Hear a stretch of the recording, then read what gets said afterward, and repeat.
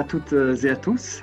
C'est réjouissant de vous voir aussi nombreux aujourd'hui pour cette table ronde qui va traiter d'environnement sonore. C'est une initiative de l'ESBEL Empreinte. Alors, avant de, de, rentrer dans le vif du sujet, je vais prendre quelques secondes pour vous situer l'association. Empreinte est une organisation de jeunesse reconnue par la Fédération Wallonie-Bruxelles et euh, qui travaille sur des questions environnementales. On fait d'éducation relative à l'environnement, euh, mais ça n'a pas à proprement parler l'environnement qui est au cœur de nos préoccupations, c'est les jeunes et les enfants qui sont euh, l'objet de toute notre attention.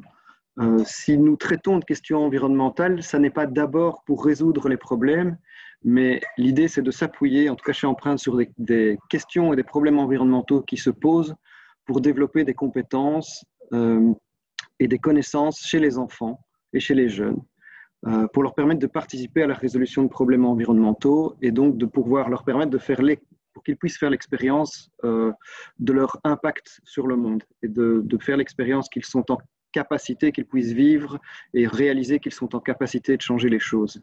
Alors ici, euh, nous allons traiter de la thématique de l'environnement sonore, du bruit, mais nous travaillons sur d'autres thématiques, la nature, la nature en ville, l'énergie, la mobilité, de manière plus générale, euh, l'éco-citoyenneté. Alors, la question du bruit peut à certains moments paraître étrange quand on fait de l'environnement, mais c'est pourtant bien une question environnementale, dans le sens où la question du bruit, quand il est excessif, impacte la vie des enfants et des enseignants quand euh, on le traite en milieu scolaire. Euh, il occasionne des troubles d'apprentissage, des troubles du comportement, des fatigues, et l'école peut être un lieu euh, à haut risque euh, en termes d'impact acoustique, puisque les, notamment les réfectoires peuvent dépasser et être dans des seuils critiques de bruit. Alors on se rend compte aussi que par le biais d'audits qui ont été menés dans des écoles, notamment il y a une dizaine d'années, que les interventions sur les infrastructures ne suffisent pas. Elles, aident, mais elles ne suffisent pas, et qu'il y a tout un volet qui tourne autour de l'éducation, de la sensibilisation, qui peut avoir un impact euh, réel sur euh, le bien-être sonore euh, dans une école. Voilà. Alors, je ne vais pas en dire plus puisque c'est le sujet de l'après-midi et je repasse, je vous souhaite la bienvenue et je vous souhaite un, un, bon atelier et je repasse la parole à mon collègue Jean-François qui est en fait chargé de projet chez Empreinte et qui travaille sur les projets bruit. Voilà, l'après-midi, je vais faire un petit topo de ce qui va se passer. Donc, on a d'abord le plaisir euh, d'entendre Catherine Lecointre et Marie-Noël Adnet qui travaillent pour le département bruit de Bruxelles Environnement. Euh, qui vont nous parler un peu euh, de l'état des lieux de l'environnement sonore dans les écoles bruxelloises et tout le travail qu'elles font sur le plan bruit et les enjeux voilà, de du problème de, bruit en région bruxelloise.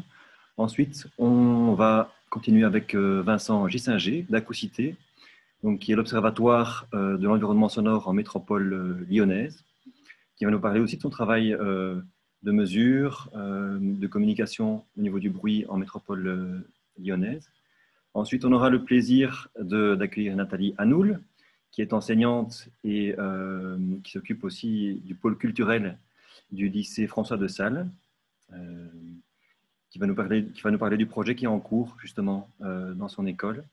Et puis Doriane Manet, qui est chargée de projet chez Empreinte, qui nous parlera du projet pédagogique des accompagnements des écoles euh, en projet bruit euh, en communauté française. Voilà. Je laisse la parole donc à Marie-Noël Annet et Catherine Lecoin.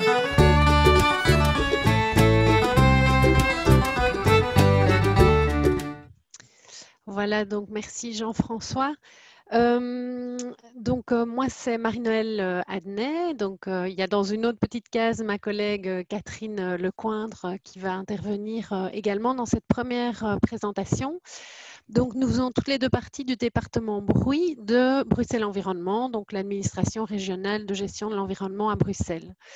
Et donc voilà, on va vous faire un petit topo sur ce qu'on fait, les mesures qui ont été faites et aussi on nous a demandé de présenter un petit peu l'impact du bruit sur la santé. Donc voilà ce dont on va parler. Euh, donc c'est Catherine qui bouge le slide. Voilà. Euh, donc voilà, ça je pense qu'on peut, euh, peut passer. C'était le plan de l'exposé, l'introduction, impact sur la santé, les résultats de mesure et aussi tous les outils qui sont disponibles, en tout cas en région de Bruxelles-Capitale. Alors, donc, une toute petite mise en situation. Pourquoi est-ce qu'on on s'intéresse à la question euh, du bruit dans les écoles euh, en termes d'environnement et plus particulièrement dans notre administration à Bruxelles Environnement? À l'échelle mondiale, l'OMS donc a déterminé des valeurs guides spécifiques en milieu scolaire, puisqu'effectivement, ils ont bien déterminé que la question du bruit dans les écoles était une question de santé euh, qui était importante. Si on descend un petit peu plus loin, euh, attendez, je déplace juste, voilà. Si on descend un petit peu plus loin, on en arrive au niveau européen. Il y a une directive, la directive 2002-49, qui est relative à l'évolution l'évaluation et la gestion du bruit dans l'environnement. Cette, directive euh, cible certains bâtiments dits sensibles et donc dit qu'il faut leur porter une attention particulière. Et les écoles figurent bien dans la liste de ces bâtiments sensibles auxquels l'Europe nous demande de porter une attention particulière. Au niveau bruxellois, on a plusieurs textes de loi euh, qui encadrent euh, le bruit de manière générale et donc notamment le bruit dans les écoles. Euh, notre base, c'est l'ordonnance bruit de 1997. Mais à Bruxelles, on travaille sur base d'un plan, le plan Quiet Brussels. Donc, c'est une obligation européenne de réaliser un plan bruit. Et dans ce plan, on a fixé toute une série de mesures à prendre, d'actions à mener, et notamment pour les écoles, on va le voir un petit peu plus tard. Voilà. Alors pourquoi est-ce que euh, à Bruxelles le bruit est une question importante et donc aussi le bruit dans les bâtiments scolaires? Parce que Bruxelles euh, c'est une ville, une, ville capitale qui, comme vous le savez, a un territoire non extensible puisqu'on est coincé euh, par certaines, enfin par nos, nos, frontières linguistiques, qui fait que Bruxelles n'est pas une ville comme d'autres capitales qui vont avoir tendance à s'étendre de plus en plus. On est vraiment coincé dans un territoire euh, spécifique et donc il y a une augmentation démographique qui est vraiment euh, euh, importante dans notre ville et une, une densification urbanistique aussi. Donc on a de plus en plus de bâtiments dans ce petit territoire, enfin dans ce territoire et donc il est de plus en plus difficile de trouver évidemment des sites adaptés par exemple à la construction d'écoles et on va avoir de plus en plus de problèmes de bruit, de pollution sonore.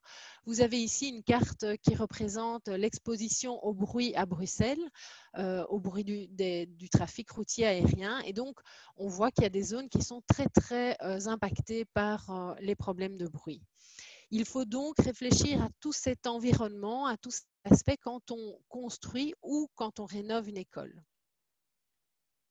Alors, je parlais du plan Quiet Brussels. Donc, c'est effectivement notre base de travail à Catherine et moi. Donc, dans Bruxelles Environnement, tout notre département travaille sur base de ce plan qui fixe toute une série d'actions à mener. C'est un plan qui a été adopté par le gouvernement. Donc, c'est bien le gouvernement bruxellois qui s'est engagé à réaliser euh, et à avancer, à travailler sur ce type euh, de problématique. Alors, il y a plein de choses qui sont à gérer, évidemment, en termes de bruit. On n'a pas que le bruit dans les écoles. Le bruit dans les écoles est une toute petite partie de tout ce qu'il y a à faire. Mais euh, on a dans nos thématiques la conscientisation des citoyens. Donc, effectivement, les élèves font partie des, personnes que Bruxelles Environnement doit sensibiliser par rapport au bruit. Il y a euh, assurer le, le, confort acoustique des bâtiments, donc notamment les bâtiments scolaires, etc. Donc, il y a tout un cadre qui fait que le bruit dans les écoles est quelque chose qui nous euh, importe. Alors, euh, ensuite, le bruit euh, et l'impact du bruit sur la santé. Alors ici, ça c'est de manière très, générale. Vous le savez, il y a euh, le bruit a un impact sur le stress, les performances, il y a les effets directement sur l'audition, mais on va voir ça de manière un petit peu plus particulière par rapport aux écoles.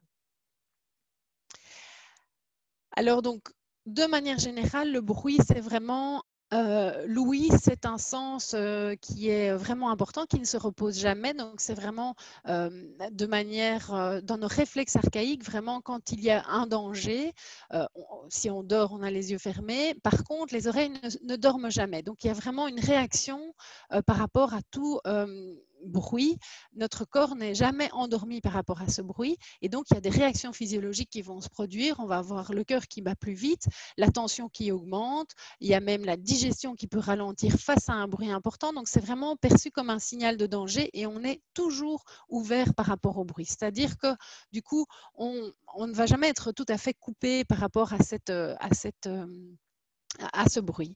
Alors, euh, un élément aussi important à comprendre, c'est que ce qui est important, c'est la dose de bruit euh, générale sur toute la journée.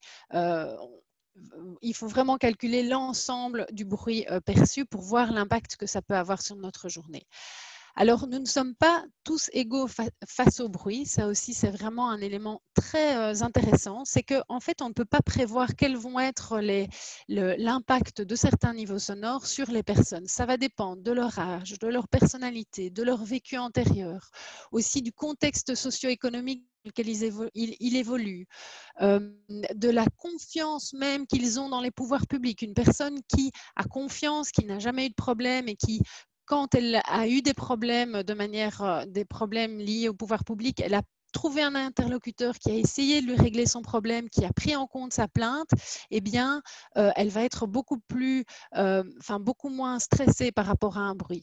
On peut aussi prendre une personne âgée qui a le même âge, le même sexe, imaginons une vieille dame face à une cour d'école une dame va pouvoir trouver ça très agréable, elle va trouver que c'est de la vie, que ça représente vraiment quelque chose de joyeux d'avoir des enfants qui jouent dans une cour de récré, tandis que l'autre va trouver ça excessivement désagréable, ne va pas supporter le bruit. Donc on n'est vraiment pas du tout égaux et ça dépend de plein de choses. Alors les enfants sont plus vulnérables par rapport au bruit que les adultes, ça c'est important à, euh, savoir puisque euh, ils sont en pleine période d'apprentissage et donc c'est une période critique pour eux et le bruit va avoir un impact sur leur apprentissage, on va le voir par la suite. Ils ne contrôlent pas leur environnement, donc euh, par rapport aux adultes qui, eux, s'ils ont un problème de bruit, peuvent dire, bon, ben, je vais appeler telle personne pour régler cette machine qui fait du bruit ou autre je vais fermer les fenêtres de ma classe, par exemple. Le professeur peut euh, faire cette démarche. L'enfant ne contrôle pas son environnement et donc il est plus euh, vulnérable par rapport à ce bruit.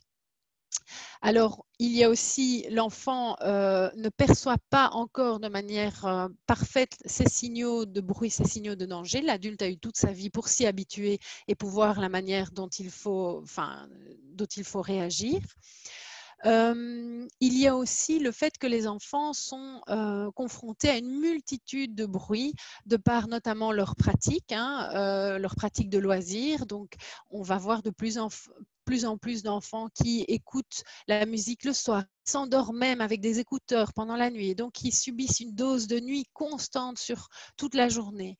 Euh, donc ces pratiques-là vont aussi avoir euh, un impact. Alors il y a des études qui montrent, hein, qui montrent les corrélations vraiment euh, claires entre par exemple le bruit perçu en façade dans un bâtiment scolaire et les évaluations que ces, ces enfants les résultats qu'ils ont obtenus. il y a des études, mais il y en a quand même pas énormément qui sont disponibles. Donc, il y a encore du travail, du travail à faire. il y avait une étude intéressante du CIDB de 2014 que je voulais quand même noter. C'est une étude sur 844 enfants. Et donc, un truc intéressant, c'est qu'on voit que les filles sont plus sensibles au bruit que les garçons. Euh, les filles sont, euh, pour 74% des, personnes, des filles interrogées, elles sont gênées par le bruit. Et alors, ce qui les gêne plus, c'est le bruit dans la classe plutôt que le bruit qui, vient de l'environnement extérieur et qui arrive dans la classe. C'est vraiment le bruit euh, fait dans la classe. Alors, il y a des impacts sur la santé au niveau de l'audition. Donc, ça, c'est, vous le savez sans doute, hein, euh, des, niveaux sonores importants peuvent détruire euh, les cellules ciliées euh, qui sont dans l'oreille et donc provoquer des acouphènes, de l'hyperacousie, des pertes d'audition. Donc, ça, c'est vraiment les effets qu'on connaît, les effets classiques. Mais il y a évidemment aussi des effets sur la fatigue et sur le stress Et donc, si on est fatigué, si on est stressé à côté du bruit, on va avoir une baisse de la capacité d'exécuter des tâches cognitives, on va avoir des troubles du comportement comme de l'agressivité, de l'hyperactivité, on va avoir euh, des troubles du sommeil qui ont évidemment des conséquences. Euh, alors, les troubles de l'apprentissage, c'est bien euh, dû au bruit, on constate effectivement une baisse de la capacité de concentration dans un environnement sonore euh, important. Euh, et aussi des interférences. Donc, quand il y a ce bruit, des interférences dans les stratégies de traitement de l'information. Donc, l'enfant va devoir adapter sa manière d'apprendre parce qu'il est confronté à ce bruit. Euh, et donc, même dans un environnement calme après, comme il a développé, il y a une, une dissonance dans ses stratégies de traitement de l'information, ça peut avoir des, des conséquences même dans un environnement calme. Alors, par rapport à la communication, euh, quand on a un effet de masquage, une perte d'intelligibilité de la parole, donc une perte de compréhension à cause d'un niveau sonore ambiant élevé, eh bien évidemment, on va avoir la compréhension qui en est altérée. Par exemple, une phrase de 27 mots, à partir du moment où on ne comprend pas cinq mots sur cette phrase, le sens de la phrase devient incompréhensible. Donc, c'est-à-dire qu'il si on ne comprend pas quelques petits mots dans la phrase, en fait, la phrase n'est même plus comprise. Euh, des enfants qui se désintéressent par rapport au langage parce que ça devient trop compliqué dans un, un environnement sonore important de comprendre et donc comme c'est trop fatigant, ils vont en fait euh, se désintéresser de ce que le professeur dit on constate des retards de l'acquisition du langage euh, dans, un environnement sonore. Euh, aussi assez intéressant, c'est les enfants dont la langue parlée du professeur n'est pas la langue maternelle vont avoir encore plus de difficultés à comprendre. Donc, ils vont être encore plus désavantagés par rapport à leurs camarades parce qu'ils ne comprennent pas euh, le sens, des phrases expliquées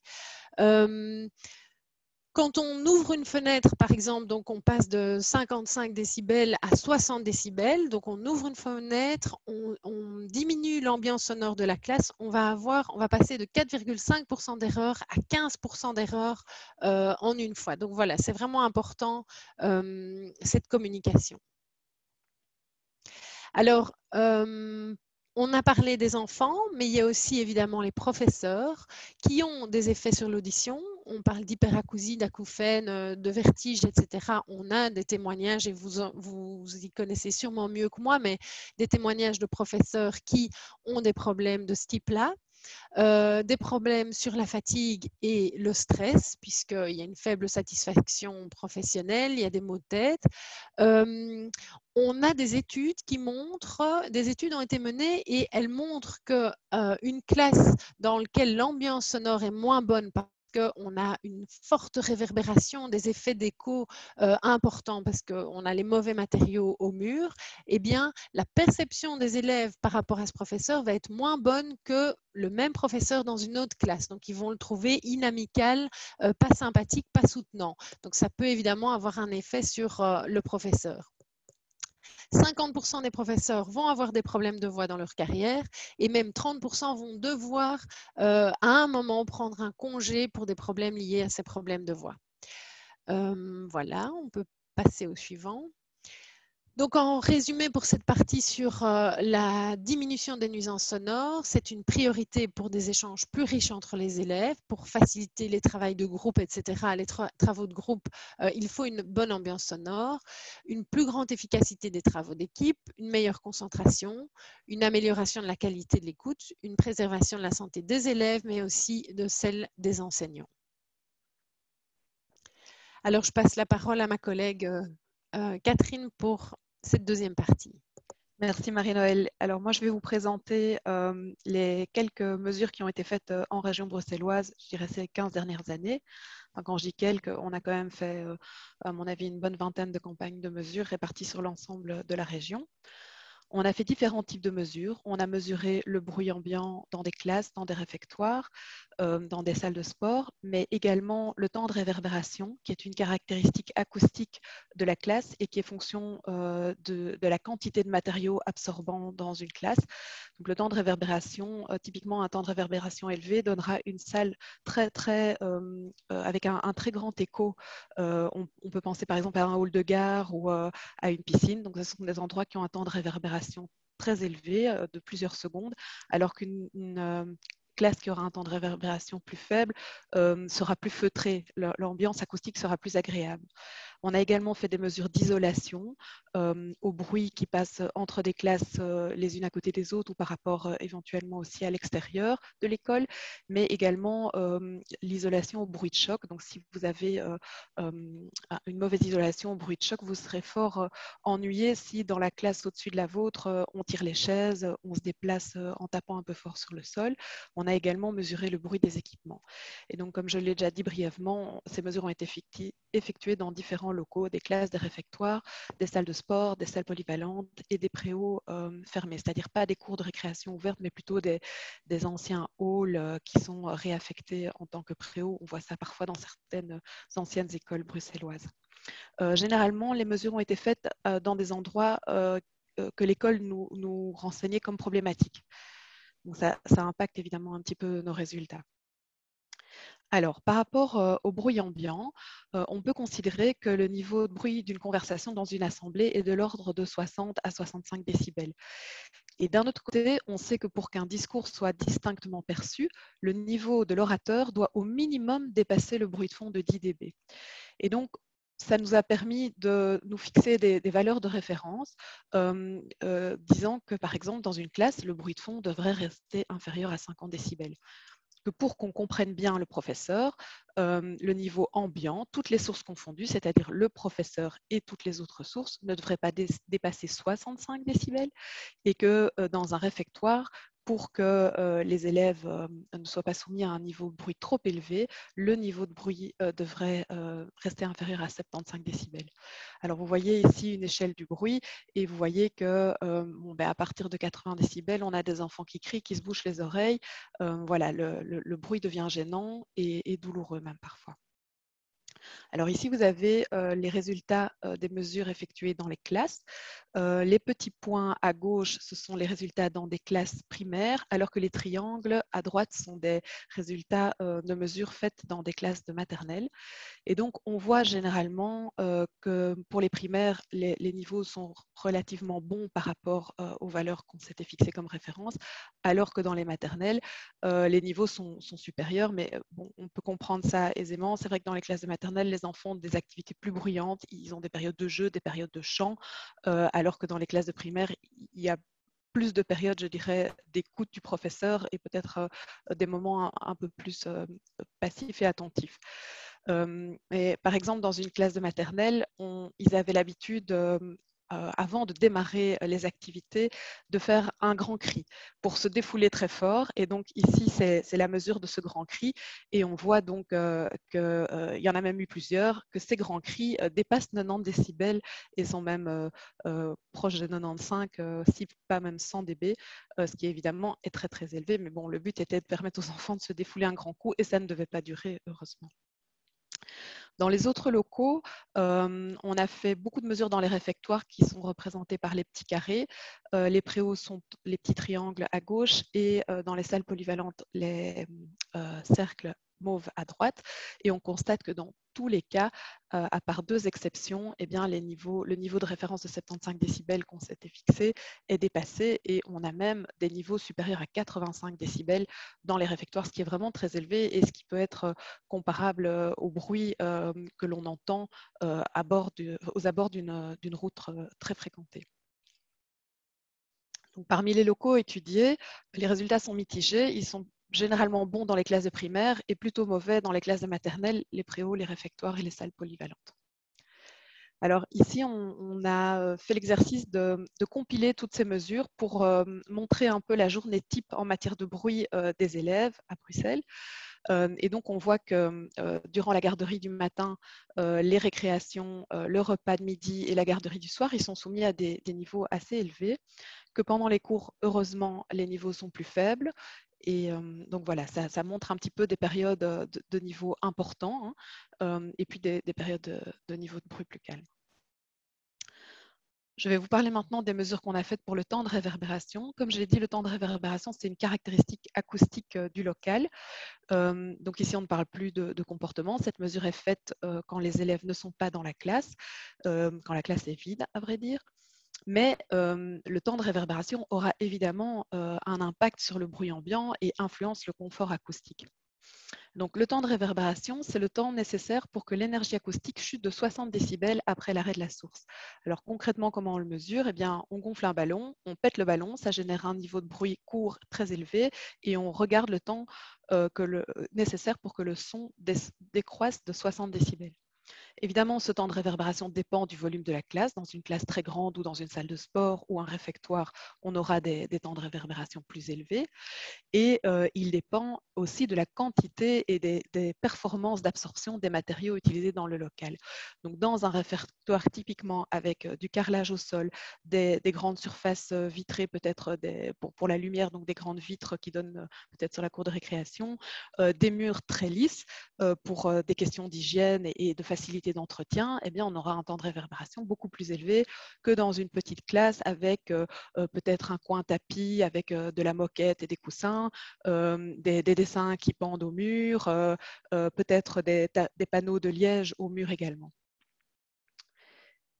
Alors ici, voici les, temps de, réverbération qui ont été mesurés. Ces temps euh, sont, donc représentés en couleur, rouge quand ils ne sont pas bons, vert quand ils sont bons, bons ou pas bons par rapport à quoi? Mais par rapport à une norme, euh, la norme, euh, une norme belge qui existe pour et qui est dédiée aux bâtiments scolaires et qui donc donne des valeurs recommandées pour les différents locaux scolaires. Et donc, on voit généralement que dans les classes, c'est pas trop mauvais, les niveaux sont assez bas à une exception près. Mais ce qui est interpellant, c'est que on est dans les classes, dans les classes maternelles, on est généralement au-dessus de la valeur recommandée. Pourquoi? Parce qu'en fait, la valeur recommandée pour les classes de maternelle est de 0,6 secondes et elle est constante quelle que soit la classe, tandis que dans les classes de primaire, cette valeur est fonction du volume de la classe. Donc, ces 0,6 secondes, ça montre bien toute l'attention que l'on veut donner en matière de construction, de conception de locaux aux classes de maternelle parce que probablement dans ces classes, il y aura plus de bruit que dans les classes de primaire et donc il est encore plus important d'avoir une bonne acoustique. Aussi parce que les enfants sont, en période d'apprentissage euh, du langage et, de tout ça. On voit que dans les réfectoires, par contre, on a des temps de réverbération très, très, très élevés, euh, de plusieurs secondes même, et qui, qui sont euh, parfois quatre fois plus élevés que ce que recommande la norme. Et donc, les temps de réverbération dans les différents locaux, ben, de nouveau, on a des résultats mitigés qui sont souvent bons dans les classes et euh, généralement mauvais dans les préaux, réfectoires et salles polyvalentes. Pourtant, euh, alors on pourrait se dire oui, ben c'est logique dans un réfectoire, comme j'ai dit, beaucoup de surfaces réverbérantes parce que c'est nécessaire pour euh, l'hygiène, pour l'entretien, euh, peu d'absorbants, on ne va pas mettre un tapis plein dans une classe, bien souvent on ne met pas non plus, pardon, dans un réfectoire, on ne va pas mettre un tapis plein, pareil, on ne met pas des, tentures aux, fenêtres, pour des raisons d'hygiène c'est nécessaire, mais pourtant il est possible d'agir quand même sur ces temps de réverbération, ce n'est pas forcément une fatalité, et donc j'ai ici deux, deux, slides qui sont consacrés à des mesures qu'on a faites avant et après travaux, et donc pour caractériser, enfin pour mesurer ce temps de réverbération. Alors le premier local qu'on a étudié, c'est comme ben voilà, le réfectoire typique dont je vous parlais, des carrelages au sol, une grande surface vitrée, un plafond assez haut. Et donc euh, là, la proposition, euh, donc, alors ces locaux ont bénéficié d'une étude acoustique et euh, d'une modélisation. Et donc, il y a un bureau spécialisé qui a vraiment dessiné les solutions, qui les a introduites dans un modèle et qui a dit, ben voilà, pour arriver au respect de, la norme, il faudrait mettre telle épaisseur, de tel absorbant, et il faudrait le mettre à cet endroit-là. Et donc ici, dans le réfectoire, la solution était de, de, combler tous les vides entre les poutres en mettant un faux plafond avec un absorbant au-dessus. Donc ça, c'est la, photo après travaux. Et si on regarde euh, en termes de temps de réverbération, eh bien, en bleu plus foncé, on voit les résultats avant les travaux et on voit qu'on était à un temps de réverbération qui tournait autour de 2,5 euh, secondes. Alors, en rouge, c'est ce qu'avait déterminé le modèle. Donc, les résultats après travaux, c'est ce qu'on devait obtenir, donc une seconde. Et en fait, euh, la mesure après travaux montre qu'on a même obtenu un petit peu mieux que ce qui avait été modélisé. Et donc, on se retrouve avec un temps de réverbération d'une seconde pour un très, très grand euh, réfectoire, ce qui est tout à fait acceptable et ce qui a un impact aussi sur l'ambiance dans le, réfectoire. Et on a également fait des mesures du bruit ambiant avant et après travaux. Et on remarque que ben, si on prend le repas de midi, on passe de 86 décibels au niveau du bruit global à 80 décibels après. Donc, on a quand même gagné 6 dB. Alors, je rappelle qu'en fait, en acoustique, 3 euh, plus 3, enfin si on double la, soupe, la source, donc si on, double le nombre d'élèves dans le réfectoire, on ne va pas faire x2 le niveau de bruit, mais on va faire plus 3. Donc euh, si je mets 10 euh, élèves qui font un niveau de bruit, je ne sais pas moi, de 60 décibels, et que je rajoute 10 élèves qui font exactement le même niveau de bruit de 60 décibels, eh bien le niveau global fera 63 décibels, parce qu'en fait, les décibels sont une échelle logarithmique. Et si, je vous dis ça, c'est important, parce que quand on a un gain de 6 dB, c'est vraiment, vraiment tout à fait audible et c'est vraiment un gain déjà très important. Alors, un autre exemple euh, de, beau réaménagement comme ça, c'est une salle de sport euh, à Gansuren. Ici, pareil, on voit euh, alors des plafonds encore plus hauts, on voit du béton partout sur les murs, des carrelages au sol.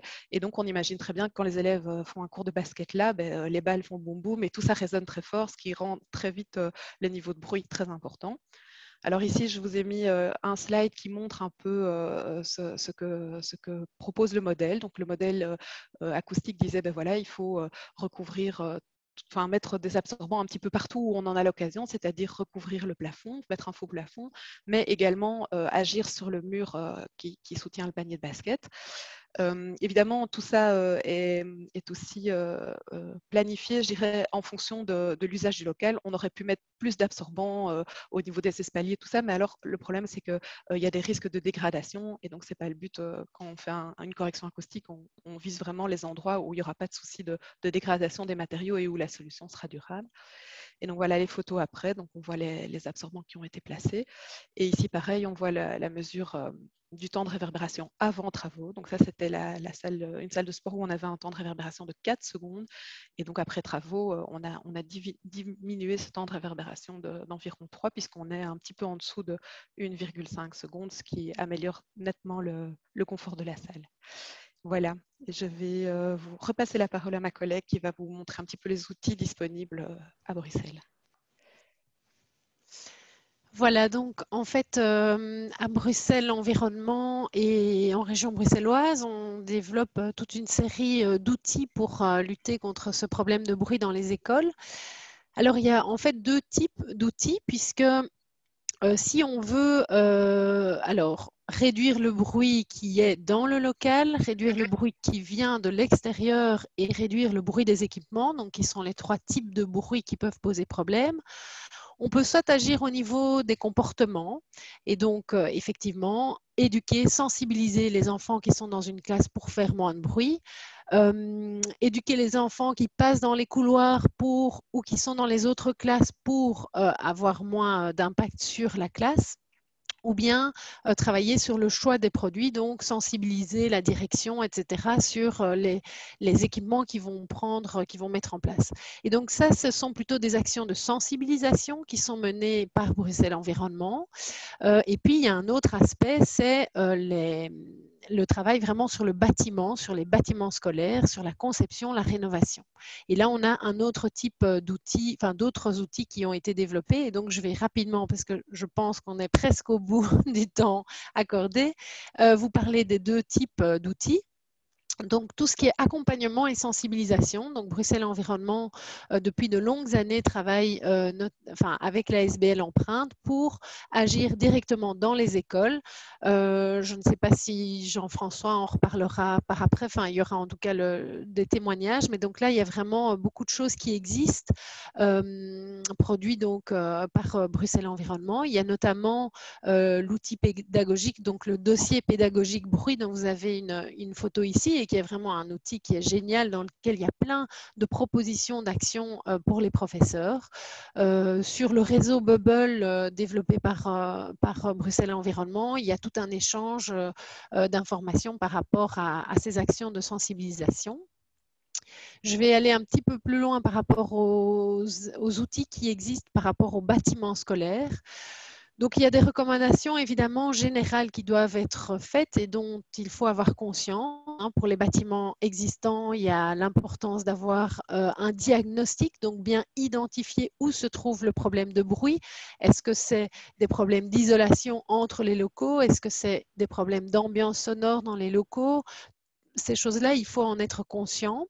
Il faut aussi euh, penser à combiner l'acoustique et le thermique. Donc, quand on fait des travaux d'isolation thermique, il ne faut pas détruire tout ce qui existe d'un point de vue acoustique, parce que euh, ça peut arriver. Hein. on change les châssis et on va réduire euh, l'isolation par rapport au bruit extérieur. Donc, il faut vraiment être, avoir ça en tête quand on, quand on travaille dans un bâtiment existant. Pour les nouveaux bâtiments, il y a aussi des règles. Il y a cette norme que Catherine a évoquée, donc qui est un outil très intéressant puisqu'il fixe euh, toute une série de critères acoustiques et qu'on peut donc imposer dans un cahier de charges pour la réalisation de travaux, par exemple. Il faut aussi réfléchir à adapter le plan de construction de son école, mettre les locaux sensibles, ne pas les mettre le long de la voirie, mais par exemple vers l'intérieur d'îlots. Euh, voilà, il y a toute une série de choses à avoir en tête. Et pour ça, nous avons donc développé euh, des services au sein de Bruxelles Environnement qui vont je, vais venir aux, outils après, mais donc euh, qui vont euh, donner pour les différents types de locaux, il y a des problèmes de bruit qui sont spécifiques et donc il est utile de regarder quel est le problème de bruit, vraiment un diagnostic et quelles sont les solutions adaptées à chaque type de locaux. Donc, effectivement, les outils. il y a le Vademecum du bruit dans les écoles, qui est vraiment un, outil important qu'on a développé, donc qui est disponible sur le site de Bruxelles Environnement, qui est un outil de, sensibilisation pour les directions, etc. Parce que ce n'est pas, c'est une manière de vulgariser la, question de l'acoustique dans les écoles. Ce n'est pas à l'usage des professionnels du bâtiment, c'est plus des gestionnaires des bâtiments, mais pour qu'ils comprennent c'est quoi les, idées de base et ce à quoi il faut faire euh, attention. Parce que quand on va plus loin, il faut se tourner alors vers un spécialiste, mais c'est déjà un outil euh, de base. Il y a aussi beaucoup d'informations sur notre site internet, sur les pages euh, dédiées au confort acoustique euh, dans les écoles, des références à des conférences qui ont été faites, des présentations, etc. Alors un service qui est quand même assez important à connaître, c'est le service du facilitateur bâtiment durable, donc qui est un service gratuit mis en place par Bruxelles Environnement. Il y a un numéro de téléphone donc, qui est disponible. Et donc, auxquels les écoles peuvent faire euh, appel pour obtenir des informations et des renseignements par rapport à des problèmes d'acoustique, par rapport à des solutions dont on leur aurait parlé, par rapport à des, devis qu'ils auraient reçus, des offres qu'ils auraient reçues de professionnels. Le facilitateur peut, dans une certaine mesure, donner des premières informations orientées, même parfois analyser euh, les devis, etc. C'est un, service qui, euh, qui existe le facilitateur de Bruxelles Environnement ne peut pas se substituer à un professionnel et donc prendre la place d'un professionnel en faisant des offres, etc. Euh, mais il peut euh, fournir une aide de première ligne euh, assez intéressante. Donc, vous avez toutes les coordonnées ici. Et puis, il y a aussi le guide du bâtiment durable avec, c'est un site internet développé aussi par Bruxelles Environnement qui, là, on va vraiment dans le technique, dans les, les, normes de bruit, les, méthodes, etc. Donc, peut-être ça ne s'adresse pas aux professeurs et aux directions, mais en tout cas, ça peut, ça peut intéresser les professionnels qui vont devoir agir sur le bâtiment scolaire. Alors, une dernière chose, c'était un guide pour l'enseignement fondamental qui a été développé par le service école de perspective Bruxelles, pour ceux qui connaissent ce service qui vient en aide pour le développement des écoles euh, à Bruxelles. Euh, et donc, il y a une partie très euh, schématisée, enfin très simplifiée sur le confort acoustique dans les écoles. il y a aussi une fiche documentée dont vous aurez toutes les références, je pense, par Jean-François. Hein, tous les liens sont disponibles. Une fiche documentée qui reprend tous les résultats qui ont été cités par Catherine, enfin une grande partie en tout cas de vraiment ces résultats d'études qui ont été menés par Bruxelles Environnement. Et je pense que voilà, nous sommes arrivés au bout de notre, de notre présentation. J'espère qu'on a pu vous apporter des informations intéressantes. Euh, voilà, Vincent de Acousité a déjà une, question pour Catherine. Euh, donc, il demande dans vos mesures très intéressantes, les réfectoires avec un, désolé, je ne sais pas ce terme, mais L-A-E, euh, inférieur à 75 dB, décibels, avec quoi de particulier serviront-ils d'exemple pour espérer une amélioration globale? Euh, le LAEQ, c'est le niveau de bruit équivalent euh, pondéré A. On peut simplifier en disant que c'est vraiment le, niveau de bruit moyen. Voilà. Euh, dans ma présentation, je parlais aussi du LA90 et du LA5 qui sont plutôt le niveau de bruit de fond et le niveau de bruit de pointe. Voilà, pour, pour simplifier très fort. Et donc, en fait, généralement, les, les, alors, c'est un, niveau de bruit ambiant, donc je dirais, ils ne dépendent pas que des caractéristiques acoustiques du local, mais parfois, euh, si le niveau était plus bas, c'est aussi parce qu'il y avait moins d'élèves. On avait comme ça plusieurs écoles qui organisaient plusieurs services. Donc, il y avait moins d'élèves en même temps en présence dans le réfectoire, ce qui est euh, donc une mesure qui ne nécessite pas de transformation au niveau des, locaux, mais juste une mesure de réorganisation. Et ça, évidemment, toutes les écoles ne, peuvent pas mettre ça en place. Ça dépend un peu du nombre d'élèves, ça dépend un petit peu de la manière dont les écoles s'organisent. Euh, sinon, euh, les, réfectoires qui avaient euh, des niveaux de bruit plus bas aussi étaient souvent ceux qui étaient plus petits. Donc, dans, des réfectoires très grands qui forcément accueillent beaucoup d'élèves, mais voilà, les, niveaux étaient plus élevés. Donc, on ne peut pas dire vraiment que ces réfectoires avaient des choses tout à fait particulières, si ce n'est peut-être la taille et alors aussi l'organisation de plusieurs services. D'accord, merci. Dommage oui. Il aurait pu y avoir des, projets pensés en amont pour euh, l'acoustique. Oui, ça aurait été bien d'avoir une étude avant-après un petit peu. Euh, mais on a, on a eu hein, dans ce, dans ce réfectoire-là et on a vu que ça donnait de très bons résultats. Euh, le fait de mettre un plafond absorbant, par exemple. voilà. Merci. il y a une question sur est-ce qu'il existe l'équivalent en région wallonne? Donc c'est vrai qu'à Bruxelles Environnement, on a la chance d'avoir réuni en fait toutes les questions du bruit dans un seul département et dans une seule administration. de ce que je sais, ce n'est pas exactement le même système de fonctionnement en, en Wallonie. Donc il y a des services qui s'occupent du bruit des transports et qui sont dans une certaine entité c'est plus réparti et par rapport à l'acoustique des écoles en particulier, moi je n'ai pas connaissance d'un service qui s'occuperait de ça particulièrement. Je ne sais pas toi Catherine, mais de manière générale, le service du facilitateur, évidemment, il n'est disponible que pour les écoles qui sont en région euh, bruxelloise. Mais par contre, tous les autres euh, outils sont, en fait, ils s'adaptent euh, évidemment aussi bien pour des écoles en Wallonie que des écoles à Bruxelles. Donc, toutes les informations disponibles sur notre site sont, sont adaptables pour toutes les, toutes les écoles. Voilà, donc désolé de ne pas pouvoir donner un numéro de téléphone, une référence, mais voilà, je, je ne l'ai pas malheureusement. Euh, je fais partie de la région wallonne, justement. Ah, voilà, mais oui, Laurence, je... voilà. j'avais vu ton nom. oui, oui, Marie. Euh, oui, voilà, ben donc euh, la réponse est tout à fait correcte. Il n'y a malheureusement pas cette intégration au niveau de la région wallonne. et alors, donc chez nous, l'administration environnementale est dissociée aussi de l'administration énergie, aménagement du territoire, ce qui fait que par rapport aux questions d'isolation thermique, justement, ben, on fait l'isolation thermique, mais l'aspect acoustique, il n'est jamais intégré malheureusement. Et donc, c'est vrai que pour toutes ces questions, euh, ben, on a tendance à renvoyer vers Bruxelles Environnement parce que justement, euh, ce qu'ils ont fait est très très bien et, c'est très clair. Mais donc, voilà, malheureusement, il n'y a pas un service comme ça au niveau de la région Wallonne. Merci à vous pour vos réponses claires et ce beau panorama de ce qui fait à, à Bruxelles. Euh, s'il n'y a plus de, questions, on va passer la parole à Vincent. Gissinger d'Acocité, chargé de pédagogie et d'une partie de la communication et des projets européens, ainsi que des enquêtes, donc des questionnaires et des sondages auprès des publics pour euh, Acocité, qui est le laboratoire, l'observatoire euh, de l'environnement sonore euh, en région lyonnaise.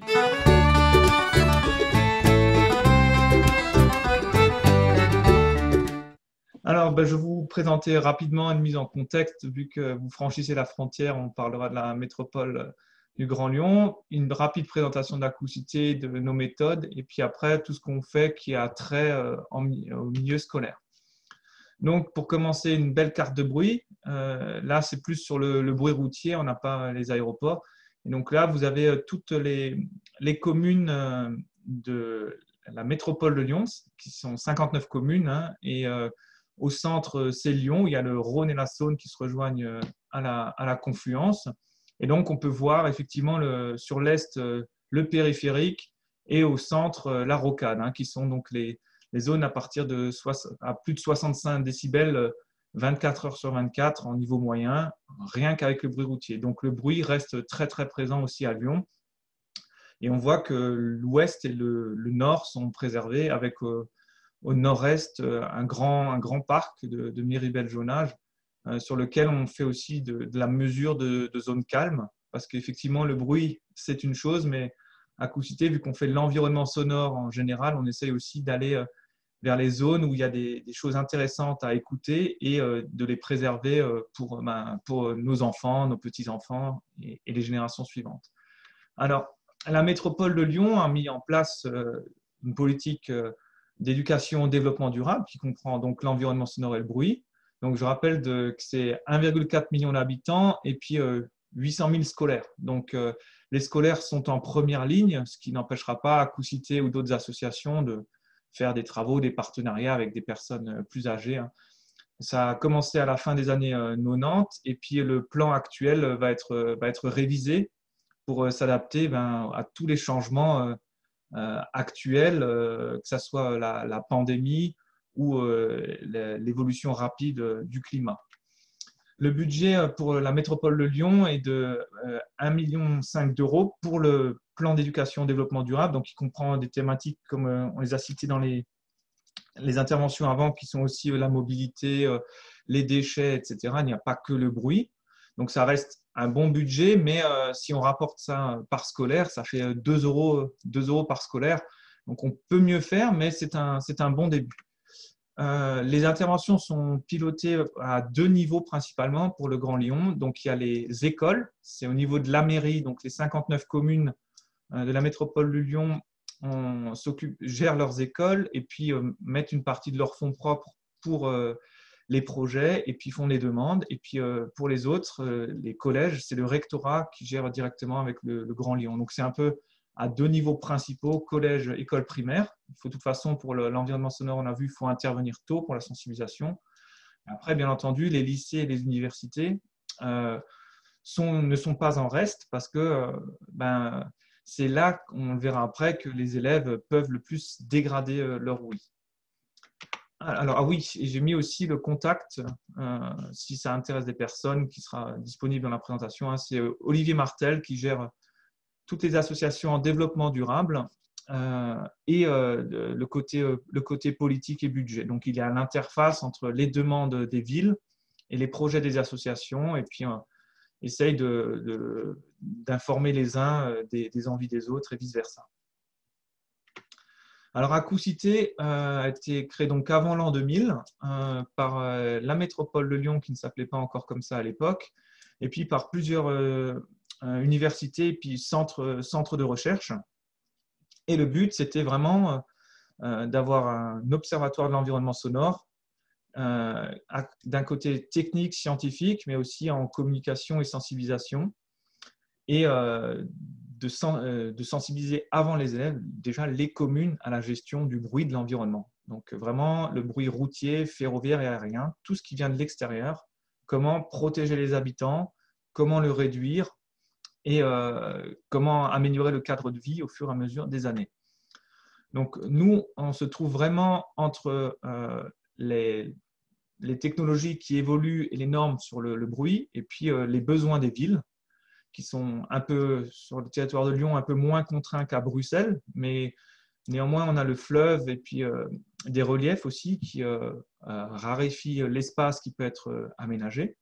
Et donc, il faut faire euh, au mieux euh, sur un territoire qui se, qui se densifie quand même euh, année après année en population. Alors nous, on fait de l'accompagnement aux collectivités territoriales, c'est-à-dire que les membres de l'association Acousticité, ce sont les villes. C'est les villes qui chaque année payent, le Grand Lyon en fait partie, à Acousticité, mais il y a aussi d'autres villes à l'extérieur, on verra plus tard.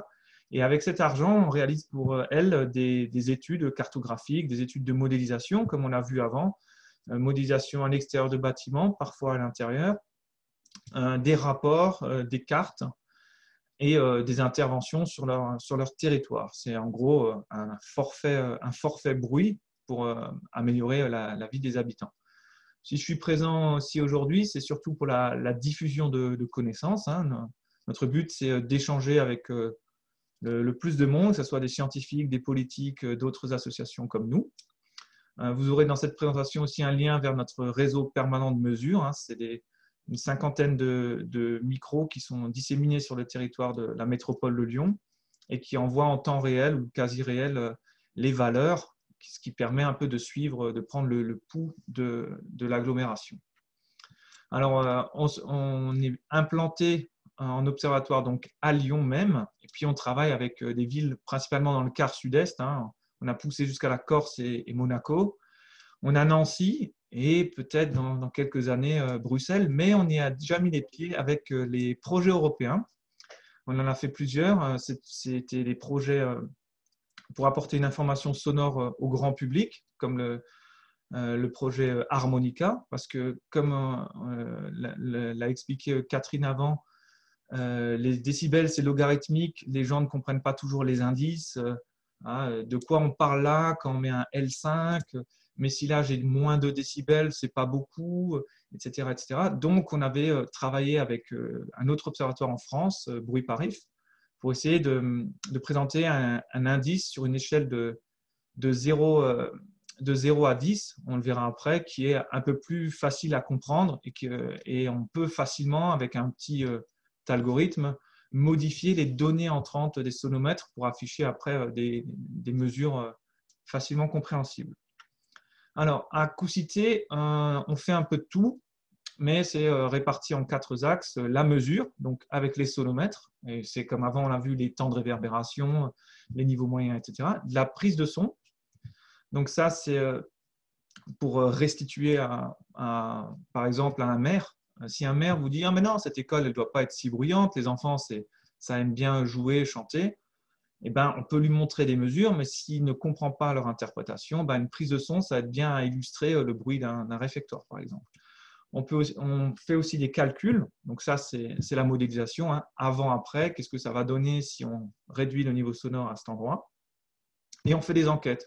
Parce qu'après tout, si le maire trouve que le réfectoire n'est pas bruyant, que les mesures montrent qu'on est juste au-dessus de la norme, mais ce n'est pas très grave, que la modélisation montre qu'on peut gagner plusieurs décibels, mais que ça va coûter cher, eh ben, l'enquête, ça peut être une solution pour demander, ben, en fait, est-ce que vous êtes intéressé? Est-ce que euh, euh, les élèves euh, en souffrent? Est-ce que les enseignants en souffrent?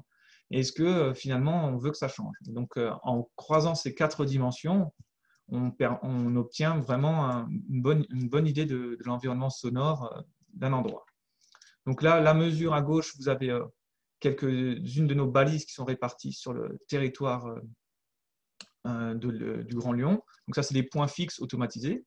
À droite, vous avez un de mes collègues qui est en train de faire une mesure en, bord de voirie. On voit que c'est peint en jaune, donc c'est euh, le, marquage au sol est temporaire, donc il y a eu des modifications. Donc on fait des mesures avant-après pour regarder si par exemple une diminution du nombre de voies ou de la vitesse euh, joue sur le bruit émis par les voitures et que les automobilistes respectent bien. Et puis en bas à droite, c'est quand on traite, on traite après les données. La modélisation, donc on a la modélisation à droite que vous avez déjà vu avant sur la cartographie en deux dimensions. Et puis on fait aussi de la cartographie en trois dimensions, euh, où là le, terrain, euh, euh, on voit beaucoup plus son effet barrière. On voit aussi un changement d'élévation pour une route, jusqu'où le bruit va se propager, etc. Et ça, ben, quand on est invité à la table des discussions avec les élus, on peut leur leur montrer des, aspects de leur ville auxquels ils n'avaient pas, pas songé. Pour les enquêtes, donc à gauche, la prise de son, hein, on a différents types de micros, euh, extérieurs, intérieurs, etc. Et les enquêtes, ben, euh, ça c'est quand je vais sur le terrain. Sinon, maintenant, ça se fait beaucoup sur Internet, surtout depuis le confinement. Alors, pour les scolaires, là, je ne vais peut-être pas vous faire écouter le fichier son, parce que je ne suis pas sûr de la, qualité transmise, mais quand vous récupérez la présentation, dedans, il y aura une cour de récréation, et c'est pour bien montrer la variabilité. Hein. une cour de récréation où il n'y a aucun élève, c'est très silencieux. Une cour de récréation où il y a plein d'élèves, ça peut être une gêne euh, pour les, voisins directs qui habitent au-dessus. Et puis, euh, un, passage pour des, résidents, des personnes âgées, par exemple de 50 à 88 décibels, euh, plusieurs fois par jour, ça peut être aussi une source de nuisance. Donc, à la conception, il faut effectivement penser à comment je préserve les élèves d'un côté et puis comment je préserve les habitants de l'autre. Alors nous, nos actions dans les bâtiments scolaires, ça va de l'accompagnement, qui est euh, donc la réalisation d'une amélioration acoustique, euh, de discussion, de, sensibilisation, euh, à des mesures, prise de son, prêt de matériel, et puis à la fin un, rapport. Donc dans le prêt de matériel, on va par exemple pouvoir fournir des sonomètres aux enseignants pour réaliser des, mesures euh, dans leur classe, des mesures dans les couloirs, euh, préaux, etc., que nous, on ne fera pas ou qu'on fera euh, sur une courte durée, mais on ne va pas rester une ou deux semaines sur site parce qu'on est une petite équipe, on n'est pas assez nombreux pour ça. Dans le prêt de matériel aussi, on le verra après, on a des, balises acoustiques lumineuses qui permettent d'aider les, le, personnel à guider les élèves quand il y a un niveau sonore qui est dépassé. Alors bon, ça c'est un extrait du rapport pour une école, mais ça, prend la même forme euh, de ce qui a, été présenté avant. Donc, euh, on, donne les préconisations, les normes qui sont valables, euh, les normes OMS ou les normes ISO en France. Et puis après, on peut dans une école, on peut constater qu'une partie du bâtiment respecte certaines normes, l'autre pas. Qu'est-ce qu'on pourrait faire, etc. Donc là, c'est euh, beaucoup de discussions en amont et il faut réussir à avoir à la fois l'équipe enseignante, l'équipe avec le directeur et l'équipe de gestion du bâtiment et puis souvent ben, les, politiques qui sont derrière. Et ça, c'est le, plus difficile parce qu'on peut transmettre notre rapport, mais s'il n'est pas expliqué, il n'y aura pas forcément, d'action entreprise pour améliorer le cadre de vie des élèves. Donc, Là, par exemple, j'avais repéré euh, que vous aviez un très bon lien sur euh, un rapport de 2014 sur le bruit des écoles, l'impact sur la santé. Mais malheureusement, il va falloir le mettre à jour parce que j'ai eu une erreur euh, de fichier non trouvé. Donc voilà, ce sera à garder sous le coude. Alors, un accompagnement qu'on a fait, c'est par exemple dans un collège, des élèves se plaignaient du bruit dans la cour. Donc, c'est Typiquement, la cour avec euh, un revêtement euh, béton ou macadam au sol, des murs lisses ou des grandes fenêtres, et euh, qui est étroite et où on met beaucoup, beaucoup, beaucoup d'élèves. Donc forcément, c'est très bruyant. Et ces élèves sont venus trouver Acousité parce qu'en fait, dans les, dans les collèges où il existe un conseil de la vie collégienne, les élèves peuvent s'emparer d'une problématique, la soumettre aux adultes, à l'équipe pédagogique, faire leurs propres recherches et puis après proposer un projet de changement. Et donc, c'est ce qu'ils ont fait. Ils sont venus nous trouver avec euh, leurs problèmes de cours. Donc, on leur a prêté du matériel de mesure et c'est eux qui ont tout réalisé. Donc, ils ont réalisé des mesures euh, dans la cour, autour de la cour. Ils ont fait euh, un rapport d'occupation des lieux. Ils ont fait de la prise de son aussi. Ils ont noté les idées ils ont de leurs camarades. Ils ont fait une enquête. Euh, qu'est-ce qu'on voudrait changer dans la cour, qu'est-ce qui fonctionne bien, qu'est-ce qui ne fonctionne pas bien? Et puis, ils ont, avec euh, d'autres associations et à Coucité, ils sont arrivés à plusieurs solutions. Donc, euh, comme on peut le voir sur la photo à droite, c'est rajouter de la végétation, changer le revêtement, changer les règles d'occupation de l'école, par exemple, de la cour d'école, ne pas laisser toute la place au foot et faire des coins lecture ou des coins jeux calmes. Et donc, avec euh, un peu de temps, une participation minimale euh, du collège. Le collège, au début, voulait investir plus, mais euh, ils se sont vus refuser certains budgets. Mais ils ont pu réaliser donc une partie des aménagements et améliorer la vie des élèves. Mais c'est vrai que ce n'est pas passé loin de l'annulation pure et simple parce que toutes les pistes proposées nécessitait d'acheter soit des plantes, soit quelques bancs ou quelques palissades. Mais sans, sans ces structures, on ne pouvait pas changer grand-chose, sauf à faire des, traces à la craie au sol et à espérer que les élèves les respectent. Donc ça, c'est plutôt bien fini pour, pour ce collège. Alors, euh, ce, que ce, que je, présente souvent quand je vais dans les classes, et ce qu'Acousité présente aussi aux élus, c'est euh, les trois leviers pour diminuer l'exposition au bruit. Parce que là, on a à chaque fois une source sonore, que ce soit des élèves dans une école, ou alors euh, une école comme on a à Lyon, par exemple à Écully, en banlieue lyonnaise, on a une école qui est vraiment au bord du périphérique. Hein. C'est le mur du fond de la classe euh, pour une des classes, c'est euh, de l'autre côté, il y a le périphérique, et, de l'autre, et la cour d'école, c'est un écran acoustique euh, au fond de la cour d'école. C'est assez terrible, et pourtant, il y a des élèves qui y vont toute l'année. Donc, on peut diminuer le trafic, on, va pouvoir avoir des véhicules plus silencieux, changer le revêtement. On va aussi pouvoir mettre un obstacle, un écran acoustique, et puis isoler, hein, comme on l'a vu avant. Donc, ces, actions à la source sur la propagation et sur les récepteurs, c'est ça qu'il faut euh, pouvoir expliquer euh, aux décideurs et le plus en amont possible, hein, parce que en construction, souvent le bruit, c'est le parent pauvre. Par contre, ça ne coûte pas tellement cher d'y penser en amont, mais les actions de correction, comme on a pu le voir dans la présentation précédente, ben, ça prend du temps, ça coûte très cher et euh, ça pourrait être évité avec un petit peu parfois de bon sens ou juste des experts euh, sur, euh, sur le volet.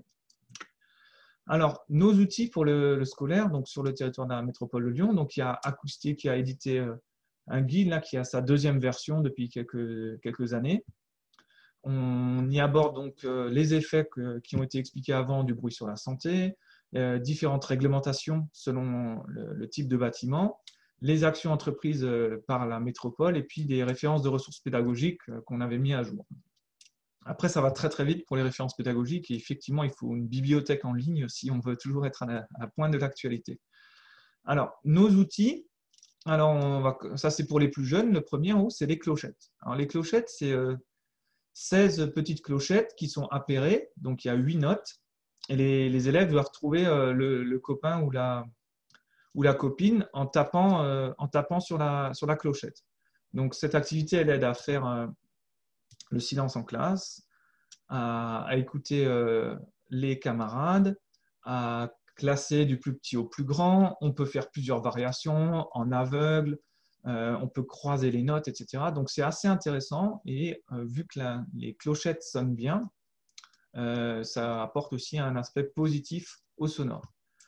Pour les plus grands, euh, à partir de 8-9 ans, il y a la cabane acoustique. Donc là, on a bricolé une petite boîte dans laquelle on met une enceinte euh, sans fil qui émet euh, un son, soit un son fixe, soit de la musique.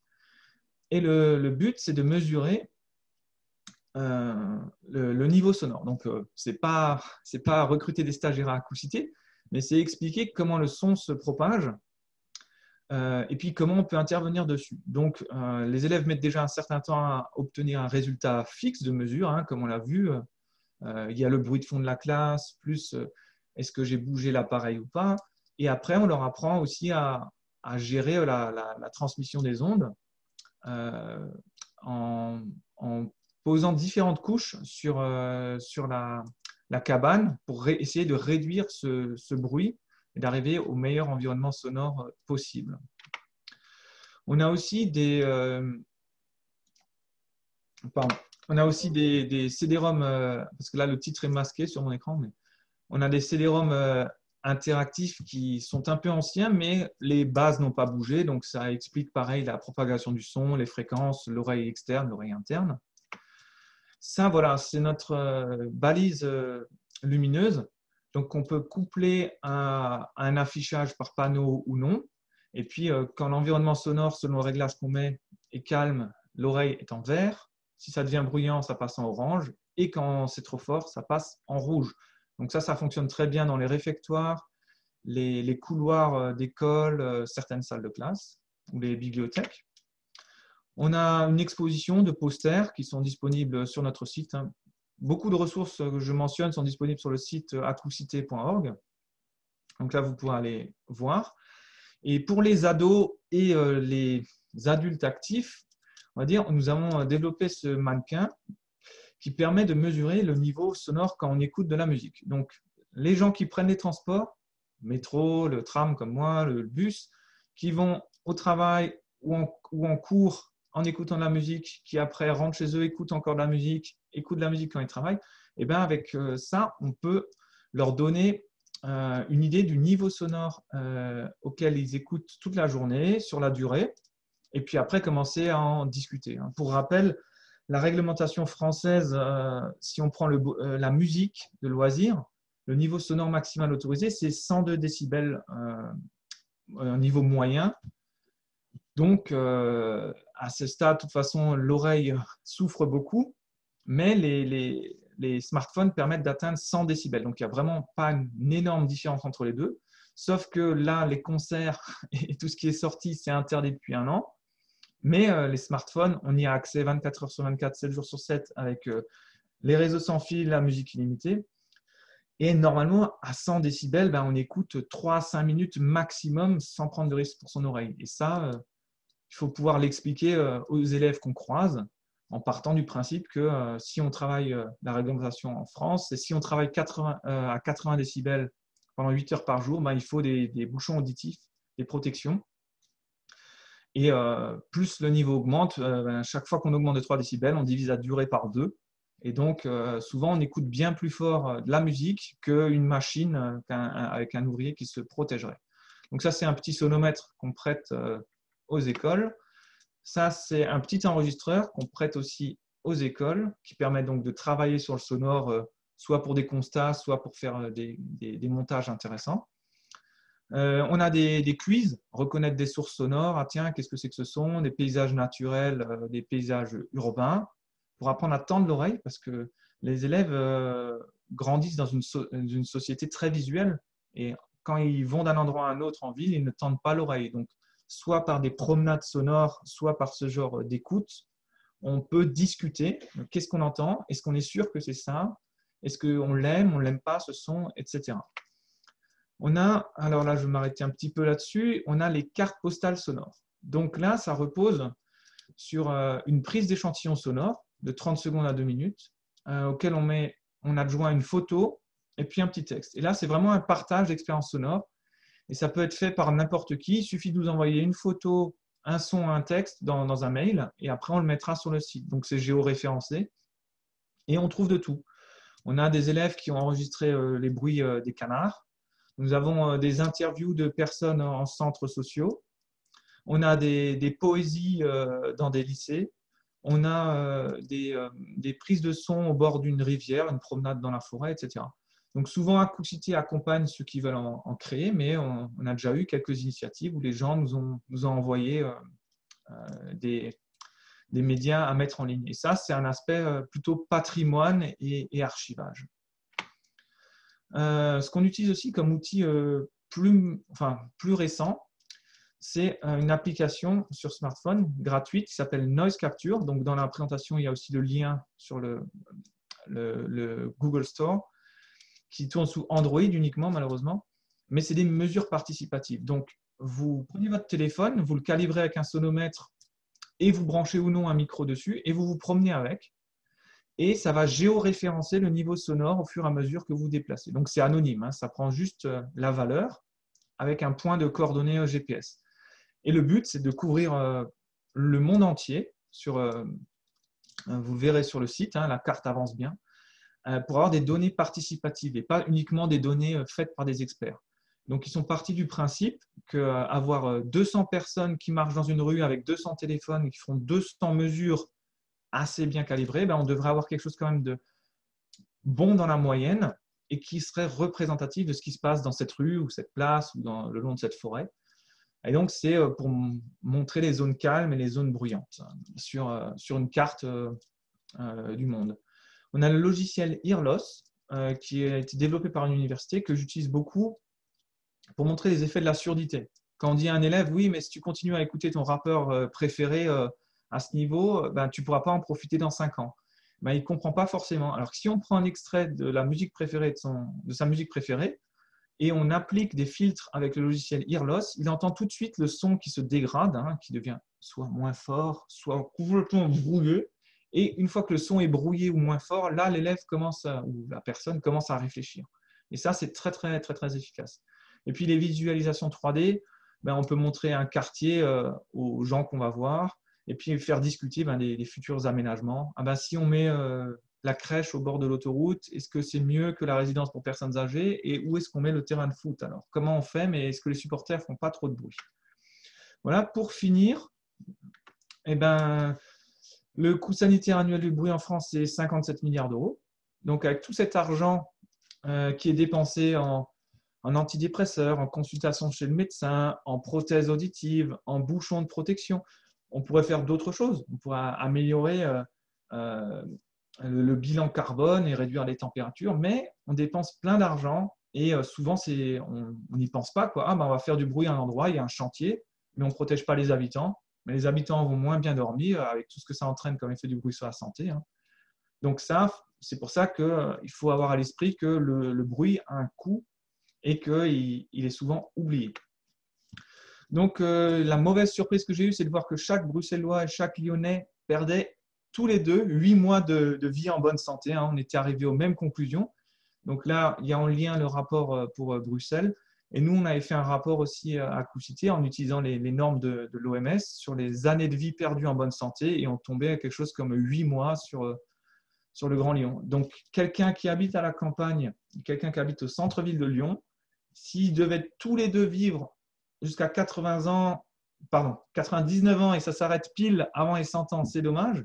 Eh ben, souvent, la dernière année va être en mauvaise santé, si on caricature, hein, à cause de ces huit mois de vie perdus. Donc, chaque euh, année qu'on passe dans le bruit, ben, on perd un petit peu de, de sentier. En classe, euh, si on prend deux, classes dans la même école, s'il y a une classe qui est bruyante, une classe qui est silencieuse, mais la classe bruyante, à la fin de l'année, peut avoir jusqu'à un trimestre de retard dans l'enseignement. Donc, ils auront un tiers du programme qu'ils n'auront pas fait, parce que ce qui était dit avant, là, 5 mots sur 27 qu'on enlève et le message est brouillé, et ça, c'est assez terrible. Euh, le futur du côté d'acousticité, ben, c'est ce que je vous montrais avant, les données participatives. Il y a aussi le temps réel parce qu'on essaye de développer des petits capteurs, euh, parce qu'un sonomètre, ça peut valoir plusieurs milliers d'euros. On essaye de développer des petits capteurs open source avec des mini-ordinateurs qui valent quelques centaines d'euros et qu'on peut déployer donc en plus grand nombre euh, pour mesurer un endroit de manière plus précise et 24 heures sur 24 euh, avec un coût moindre. Et puis il y a aussi l'intelligence artificielle. Donc ça, on peut entraîner euh, des, logiciels à reconnaître les sources sonores. Donc ça, ça peut servir après pour trier des enregistrements et puis pour déclencher des alertes. Hein. Si on prend euh, une école, euh, on peut déclencher une alerte sur, sur cri, par exemple, dans un réfectoire. Si le surveillant est sorti, eh ben, il y a le bruit de fond et si on a appris au logiciel à reconnaître les, cris d'élèves, ben, s'il y a des élèves qui crient, ça peut faire revenir le surveillant. C'est un exemple très caricatural, mais euh, nous, ça va plus nous servir pour des alertes sur des bruits de chantier. Si on met euh, en ville des capteurs et qu'on active, si on a le droit, pour préserver la vie privée, attention, des, capteurs euh, sur le bruit de chantier, ben, on va être averti, ah ben, ici, il y a du marteau-piqueur, et après, la ville de Lyon peut aller voir s'ils respectent les normes pour préserver les habitants.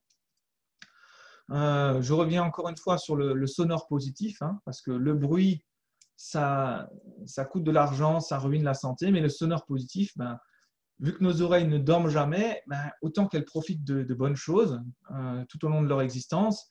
Et euh, certains sons, certaines musiques vont nous replonger en enfance, nous faire penser à, des paysages de vacances, etc. Donc nous, on continue à entretenir cet aspect du, positif à Accoucité.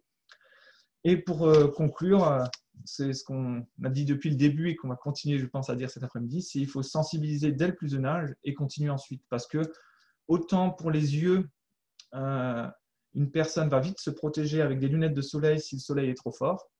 Autant à un concert, on ne va pas forcément mettre des bouchons d'oreille si la musique est trop forte parce qu'on aura des acouphènes que le lendemain. Voilà, je vous remercie euh, de m'avoir écouté. Merci beaucoup Vincent. Euh, alors, nous avons trois, trois questions de notre collègue Annick. Alors, Annick euh, est notre collègue chez Empreinte et elle s'occupe des formations des enseignants et aussi de développer certains outils pédagogiques. D'accord. Et alors, euh, elle avait trois questions pour toi qui sont. Oui, je vois. alors, pour les, les couches sur la cabane acoustique, ben, en fait, euh, la cabane acoustique, elle a été faite par, euh, par notre directeur actuel. Là, c'est des planches de contreplaqué.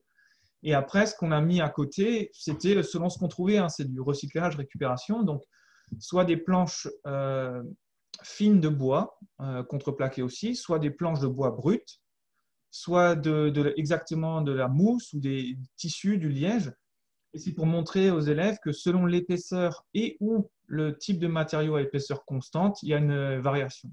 Et quand les élèves s'emparent euh, de, la cabane, ben, ils en viennent même à la fin à dire oh, on va réduire le, niveau sonore à zéro. On va mettre dessus les livres de maths, on va mettre les vestes et ils empilent tout ce qu'ils peuvent. Donc euh, voilà, ça c'est libre, à librement adapté. puis je suis disponible par, par mail hein, pour en parler ou par Skype.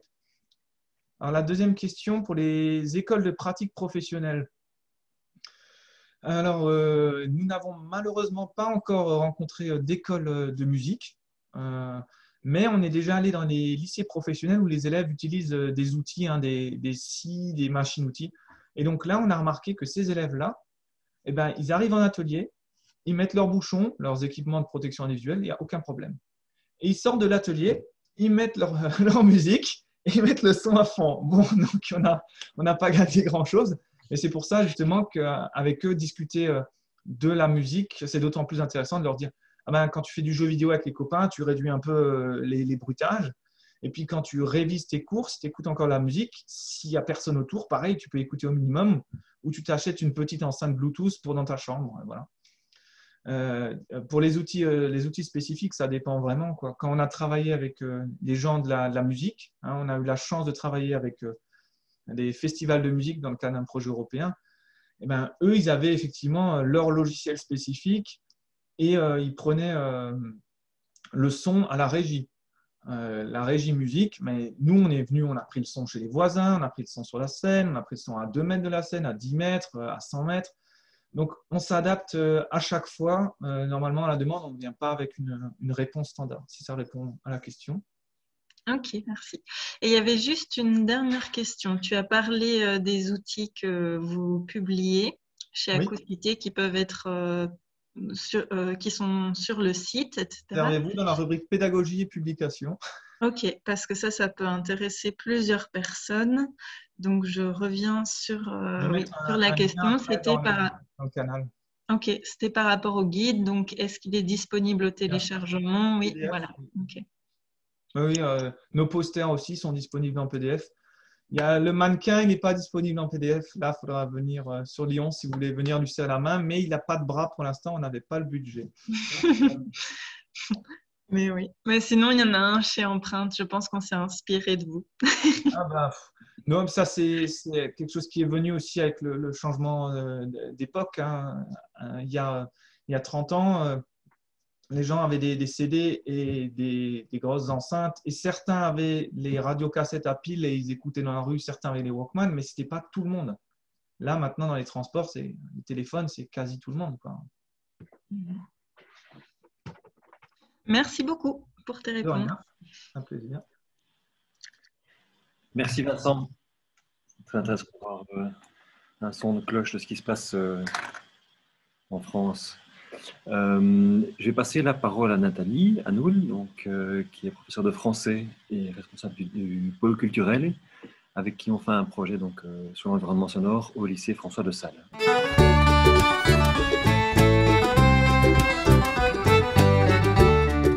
Ok, ben effectivement, comme tu le dis, je suis prof de français, responsable du pôle culturel du lycée François de Sales à Gilly, près de Charleroi, en Belgique, ceux qui n'y sont pas pour le moment. Et euh, ben, ma démarche est partie d'un constat, c'est-à-dire qu'on m'a mis pour l'essentiel de mes heures dans des locaux euh, dont l'acoustique était vraiment euh, extrêmement problématique. Et ça me fait du bien cette réunion parce que je, me sens comprise en fait. Sinon, j'avais l'impression d'être un peu une extraterrestre. Et j'espère que toutes ces informations vont être diffusées et que la sensibilisation au bruit va, vraiment augmenter parce que l'impression que ça ne s'arrange pas.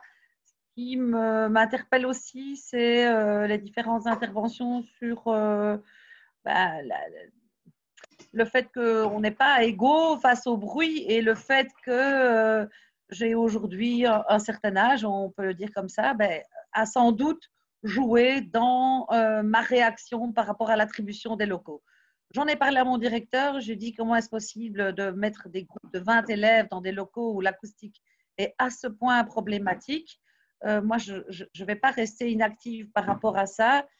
Et il m'a répondu euh, en clin d'œil, mais c'est pour ça que je vous ai mise là, c'est parce que je savais que vous alliez réagir. Bon, ben ok, donc j'ai son feu vert. Donc ce constat était là, les élèves en, souffrent aussi, euh, au point que après quelques heures, ils m'ont dit, Madame, si vous pouviez ne plus mettre de talons quand vous venez donner cours parce que c'est vraiment insupportable. Et je me suis dit, bon, ben voilà, on n'est pas seul. Donc, euh, j'ai commencé à me renseigner, à effectuer certaines recherches et je suis tombée sur la SBL Empreinte, euh, que je remercie au passage pour ses différentes interventions et son aide. Et je me suis dit, on va passer à l'action. Alors, la première chose, c'est faire un grand tableau euh, sur lequel euh, j'indiquais les différentes étapes de mon projet et les enseignants qui allaient collaborer avec moi. Bonjour, bonjour, bonjour, monte. Voilà. Alors, euh, la première chose, c'était qu'est-ce que le son, qu'est-ce que le bruit? ça a été analysé dans mon cours. Donc, je suis prof de français de formation historique et géographique. On a défini le bruit, on a déterminé les causes et les conséquences du bruit à l'école et ailleurs, et on a expliqué les conséquences du bruit sur les jeunes bah, sur base d'articles. Euh, et au cours de sciences, ils ont euh, un peu plus euh, approfondi sur qu'est-ce qu'une onde sonore, les dangers, physiologiques causés par les sons. Après ça, l'étape 2, c'était la réalisation d'un sondage pour les profs et les élèves de l'école et le personnel administratif également, en Google Form avec la collaboration du professeur d'informatique. Donc, ils ont réalisé ce sondage, ils l'ont diffusé, on l'a envoyé à, toute l'école. Euh, il y a eu quand même pas mal de réponses, c'est ça qui était intéressant. Et puis, euh, on a rencontré la SBL Empreinte, avec laquelle euh, bah, on a fait un, a participé à un quiz. Il y a eu différentes expériences de sensibilisation au bruit et c'était assez édifiant, il faut le dire. Et puis, Empreinte nous a prêté des sonomètres pour qu'on puisse mesurer à différents endroits et à différents moments ben, euh, le son, tout simplement, dans l'école et le bruit. Et la dernière étape consiste à trouver des solutions sur base de ce qui a été euh, euh, constaté au départ du sondage et des prises de son.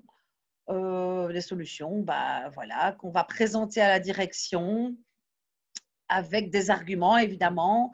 Et l'idée, puisque je participe à ce projet avec une classe de cinquième, c'est qu'ils puissent voir des résultats dans l'école pendant qu'ils sont encore dans l'école. Parce que participer à un projet de cette ampleur et puis se dire bah, ce sera pour les suivants, bah, bon, bah voilà, euh, c'est pas qu'on est euh, complètement égoïste, mais pas complètement altruiste non plus. Donc j'avais envie qu'ils voient le résultat de leur travail. Et euh, pour le moment, on en est à des contacts avec euh, des personnes qui vont éventuellement changer la sonnerie, puisqu'au départ du sondage, je vais essayer de vous faire partager d'ailleurs. Attendez, attendez. Ah oui, donc ça, c'est les prises de son. On a fait toute une série voilà, de prises de son euh, euh, près, de, près de certains locaux, avec voilà, à chaque fois les équipes d'élèves qui devaient aller mesurer le son à différents lieux, dans différents lieux, à différents moments de la journée, parce qu'évidemment, ce n'est pas la même chose tout le temps. Et euh, bah, on se rend compte que euh, ça, plus euh, les résultats du sondage que je vais essayer de vous partager aussi. Où suis-je? Non, voici, voilà.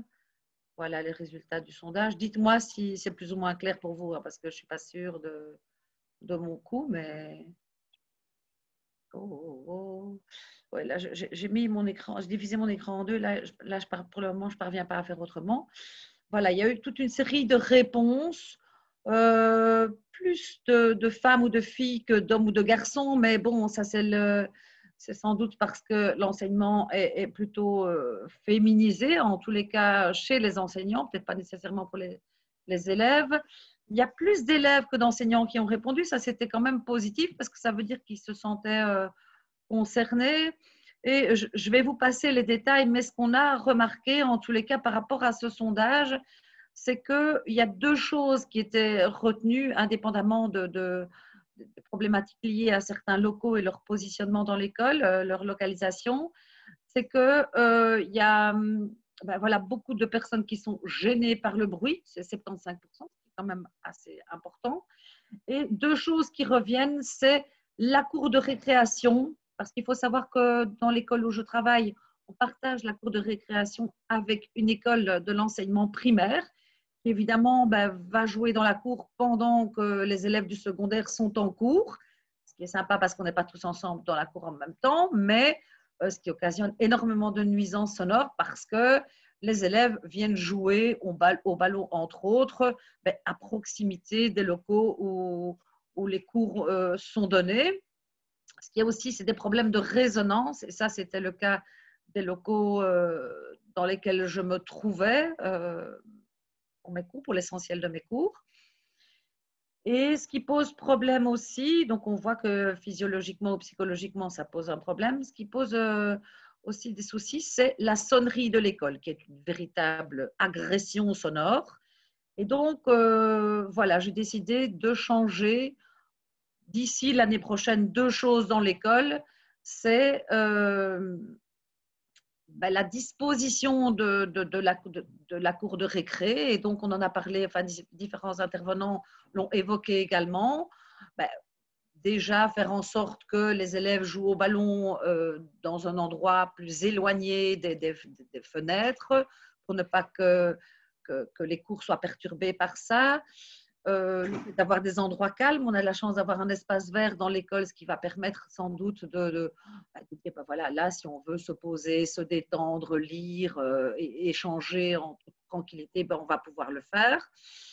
Euh, et, des espaces, malheureusement, la cour ne s'y prête pas nécessairement, où on peut jouer et crier, parce que ben, voilà, les enfants en ont besoin aussi, mais que ce ne soit pas trop près des fenêtres non plus. Euh, donc, dans ce contexte-là, je suis entrée en contact avec des sociétés qui euh, mettent en place dans les écoles euh, une série de une infrastructure qui permet de diffuser de la musique, mais parfois aussi des messages qui permettent de, de, choisir différentes, différentes musiques à certains moments qui font aussi en sorte que la, voilà, on puisse choisir la sonnerie qui peut être différente en fonction du fait qu'elle annonce euh, ben, la reprise des activités ou justement le fait d'être libéré de certaines activités. Et donc, ben voilà, on est, on est complètement là-dedans. Euh, l'analyse du son dans l'école, elle n'a pas encore eu, enfin, on a commencé malheureusement, ben, comme vous l'avez compris, on s'est retrouvé un peu éloigné de nos élèves cette semaine-ci et ça n'a pas pu euh, vraiment se, boucler cette semaine, mais sinon, euh, les élèves avaient euh, commencé toute une série de, de ils ont répertorié toutes les analyses du son avec leur professeur d'informatique et ils ont fait un tableau Excel. Ils ont commencé un tableau Excel que je ne peux malheureusement pas vous montrer pour le moment parce qu'il n'est pas encore terminé. Par contre, ce que nous avons commencé, c'est une petite capsule vidéo de sensibilisation euh, dont on voit la base euh, dans ce storyboard que je vous partage aujourd'hui et où on va euh, faire intervenir, bah, montrer les primaires à côté de notre classe qui jouent au ballon. il faut savoir que les locaux dans lesquels je me trouve avec les élèves avec lesquels je travaille sur ce projet, ce sont soit des locaux où la résonance est extrême et où c'est très très difficile de, bah, d'échanger dans la mesure où il y a plus d'une personne qui parle, ça devient catastrophique. Et le second local, c'est un local qui a une espèce de cave qui se trouve en dessous d'une salle de, sport. Et donc, ça veut dire qu'à partir du moment où il y, a, il y, a, sport en même temps que cours, et ou, en même temps qu'examen, ça s'est passé il n'y a pas longtemps lors d'un examen. pendant les quatre heures d'examen, on entendait les ballons et, les enfants qui, bah, couraient. Bah, pendant, l'examen, c'était assez inconfortable. Et donc, on a imaginé cette petite euh, capsule de sensibilisation euh, de façon à ce qu'on se rende compte que ben voilà, quand on parle, quand on essaye de diffuser un message dans la cour de récré ou dans la classe, euh, s'il y a les enfants qui jouent à l'extérieur ou que la salle de sport est occupée, ben, c'est juste pratiquement impossible. Et donc voilà, normalement, la SBL devait intervenir ce lundi à l'école et bah, on, a dû renoncer à ça. Bon, je vais peut-être arrêter de partager mon écran parce que sinon vous voyez euh, Zoom Phone en temps, votre portée. Donc euh, on, a dû renoncer à ça parce qu'on allait euh, réaliser cette petite capsule vidéo. du coup, ben, c'est avec les smartphones qu'on s'est un petit peu débrouillé et je vais envoyer en print d'ailleurs prochainement le résultat de, de ces petites vidéos que nous avons réalisées. Mais je, dois dire que tout ça est assez édifiant et euh, bah, l'idée, c'est vraiment de sensibiliser les élèves, les élèves du primaire. Je suis entrée en contact avec le directeur de l'école primaire, donc qui partage notre cours et qui est très content finalement. En fait, je me rends compte que cette problématique du bruit, je ne vais pas dire qu'elle est taboue, mais en tous les cas, elle est, elle est terriblement sous-estimée euh, par le personnel enseignant, par le personnel de la santé peut-être jusqu'ici. Et peut-être que ce genre de, projet va donner l'occasion aux jeunes, aux moins jeunes. Et, enfin, en ce qui me concerne, par exemple, j'ai des problèmes d'acouphènes depuis qu'on m'a attribué ces locaux-là. Et je me dis, tiens, euh, c'est bizarre, je n'avais jamais ça avant. Peut-être que les élèves, et d'ailleurs ils le témoignent dans le sondage, en souffrent aussi. Mais on nous pose tellement rarement des questions par rapport à, par rapport à ça, on est toujours, ah oui, euh, tu as vu le programme, euh, tu es arrivé au bout. Et quand j'entends euh, les intervenants qui expliquent que dans une classe calme, on peut clairement arriver à des résultats, mais qui sont beaucoup plus importants en termes d'apprentissage et, en termes de matière vue, même si on, est bien d'accord que ce n'est pas nécessairement l'essentiel. Eh bien, je me dis, ben, c'est chouette qu'il y ait des études qui aient été réalisées, on va pouvoir les partager pour dire, ben voilà, c'est pas juste euh, euh, une prof d'un certain âge qui se plaint, euh, parce que les enseignants se plaignent beaucoup, on le sait, mais c'est un constat et un constat qui est basé sur des mesures très concrètes qu'on va pouvoir partager pour montrer que, ben non, je ne suis pas la seule à me plaindre, les élèves ne sont pas les seuls à se plaindre et ce, cette histoire de son n'est pas anodine contrairement à ce qu'on pourrait croire. Je crois que ça fait partie de la problématique du bruit. Euh, comme la problématique du harcèlement, euh, font partie des sujets qui commencent à émerger parce que c'était complètement ignoré. C'est peut-être grâce euh, aux smartphones et aux réseaux sociaux qu'on commence à être de plus en plus sensible à ça.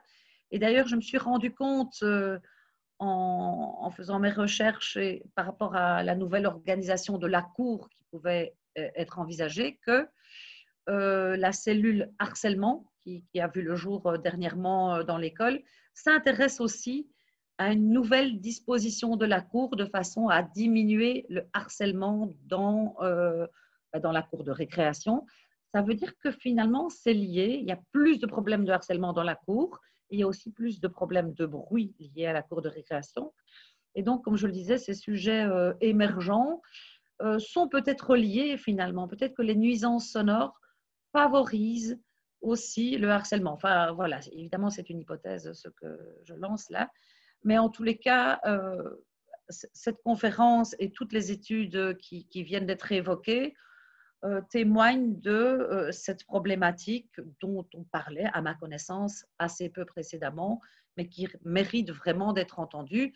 Alors, pas seulement pour les personnes qui, qui en souffrent aujourd'hui et qui l'observent, parce qu'elles ont euh, un certain âge ou une certaine expérience ou qu'elles sont vraiment euh, très très fréquemment euh, en, contact avec des gros groupes d'élèves ou dans des locaux qui sont, qui sont mal, mal conçus au niveau acoustique, mais aussi pour les jeunes, pour, comme, comme on l'a déjà évoqué, les sensibiliser, leur dire si vous continuez à vivre dans un environnement sonore de ce type-là, eh bien, c'est votre avenir acoustique qui est en péril.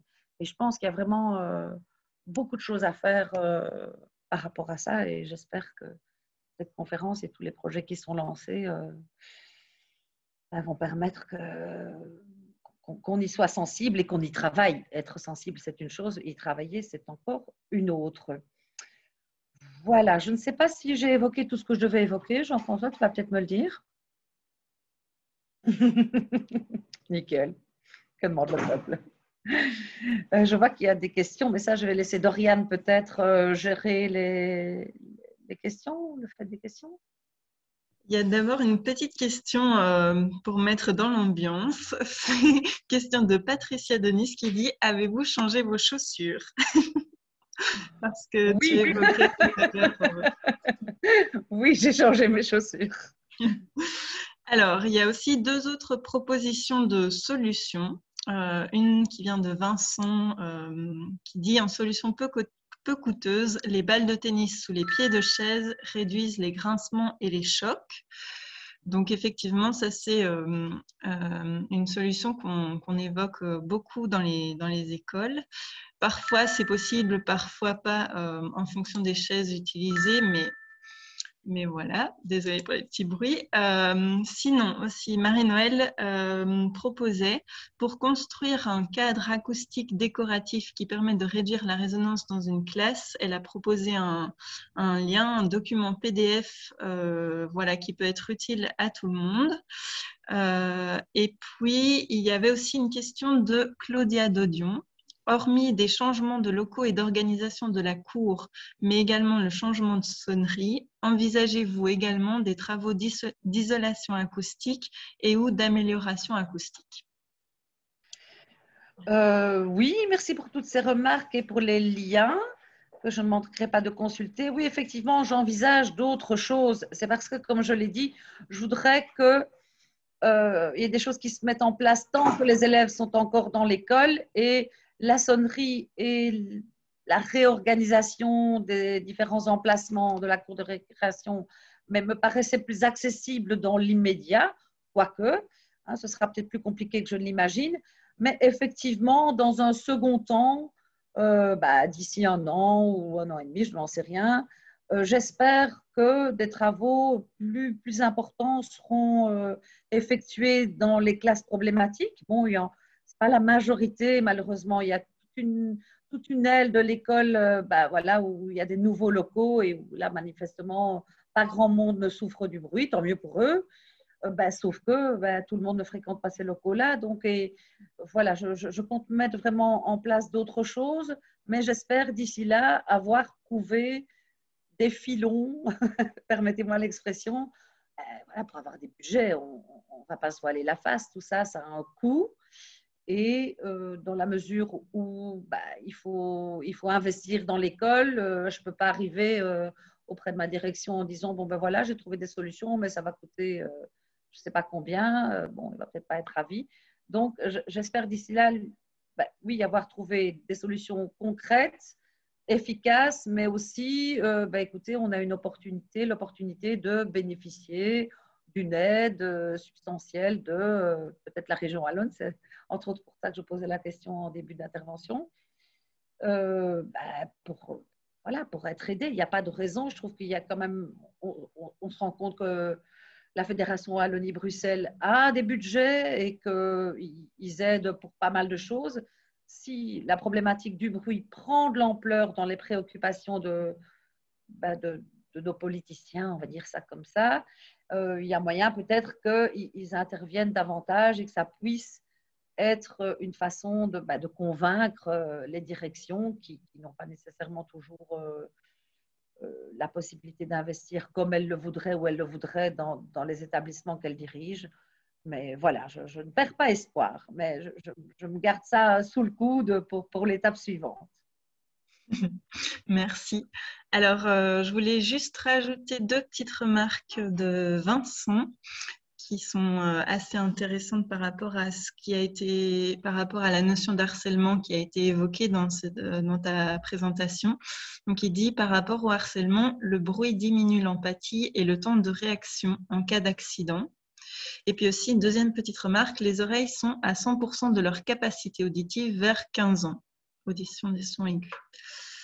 Euh, alors, je vois aussi que Isabelle Vanesse, désolée si je ne prononce pas bien, mais Isabelle en tout cas, euh, votre pouvoir organisateur vous soutient-il dans cette démarche pour que les solutions envisagées avec les élèves puissent être entendues? Avez-vous des liens aussi avec le PSE Jusqu'ici, non, mais je prends bonne note de cette remarque et je vais voir ce que je peux faire. C'est vrai que je n'ai pas encore eu l'occasion de contacter le pouvoir organisateur ni le PSE. Je vois aussi que la FWB subventionne l'isolation acoustique dans le cadre du PPT. Bien, bien, bien. J'ai vraiment bien fait de venir. Je vais, euh, prendre note de, toutes ces propositions. C'est chouette d'avoir des, gens qui ont déjà... Euh, parce que pour moi, c'est tout nouveau, hein, sincèrement. Euh, et peut-être que très égoïstement, si je n'avais pas subi ces problèmes-là, j'y aurais été moins sensible. Mais bon, voilà, ça c'est le propre de l'humain. Et, donc, euh, ben, j'espère que, ça va vraiment être un levier pour, la suite, en tous les cas, et pour euh, mes collègues et mes futurs collègues.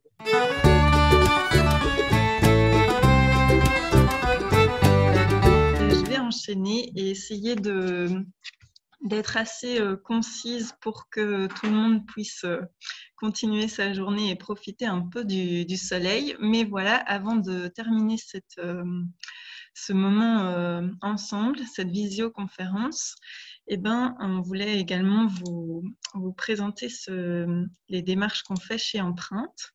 Donc, euh, surtout notre euh, pédagogie et notre méthodologie pour agir dans les écoles. Donc, voilà, on a des projets agissants. Alors, comme Mathieu l'a précisé tout à l'heure, pourquoi ça ne fonctionne pas? Voilà. Comme Mathieu l'a précisé tout à l'heure, donc Empreinte est une organisation de jeunesse euh, qui héberge aussi le, le CRIE de Namur. Donc nos locaux sont situés à Namur. Euh, en tant qu'organisation de jeunesse, on, travaille principalement avec des jeunes, un public de jeunes, euh, donc dans les écoles, des adolescents, des jeunes adultes volontaires mais aussi on travaille avec les personnes en contact de ces jeunes. Donc là, c'est principalement les professionnels de l'éducation et de l'animation, euh, les mouvements de jeunesse, ça c'est via des formations, etc. Donc, euh, nos, animations abordent différentes thématiques, comme Mathieu l'a précisé tout à l'heure. Euh, voilà, là, vous pouvez avoir un petit panel des thématiques euh, qu'on aborde dans nos animations, mais aujourd'hui, on va parler du bruit. Et sur cette thématique, on travaille principalement en projet dans les écoles, en projet scolaire, que ce soit avec le maternel, le primaire ou le secondaire. Et euh, il nous arrive aussi parfois d'animer de, des animations euh, one-shot plutôt dans des écoles ou quoi, mais on essaie vraiment d'avoir une dynamique de projet pour justement euh, mettre les, les, jeunes et les, et les, élèves en action, vraiment euh, qu'ils soient porteurs de leur projet et du coup acteurs de leur environnement. Donc ça, c'est vraiment notre, notre mission principale. Euh, alors, comme je l'ai dit, on organise aussi sur cette thématique des formations à destination des, enseignants euh, et on crée aussi des, outils pédagogiques dont nous parlerons un peu plus tard. Alors, euh, donc voilà, euh, en fait, on travaille essentiellement avec, euh, avec Bruxelles Environnement sur la thématique du bruit.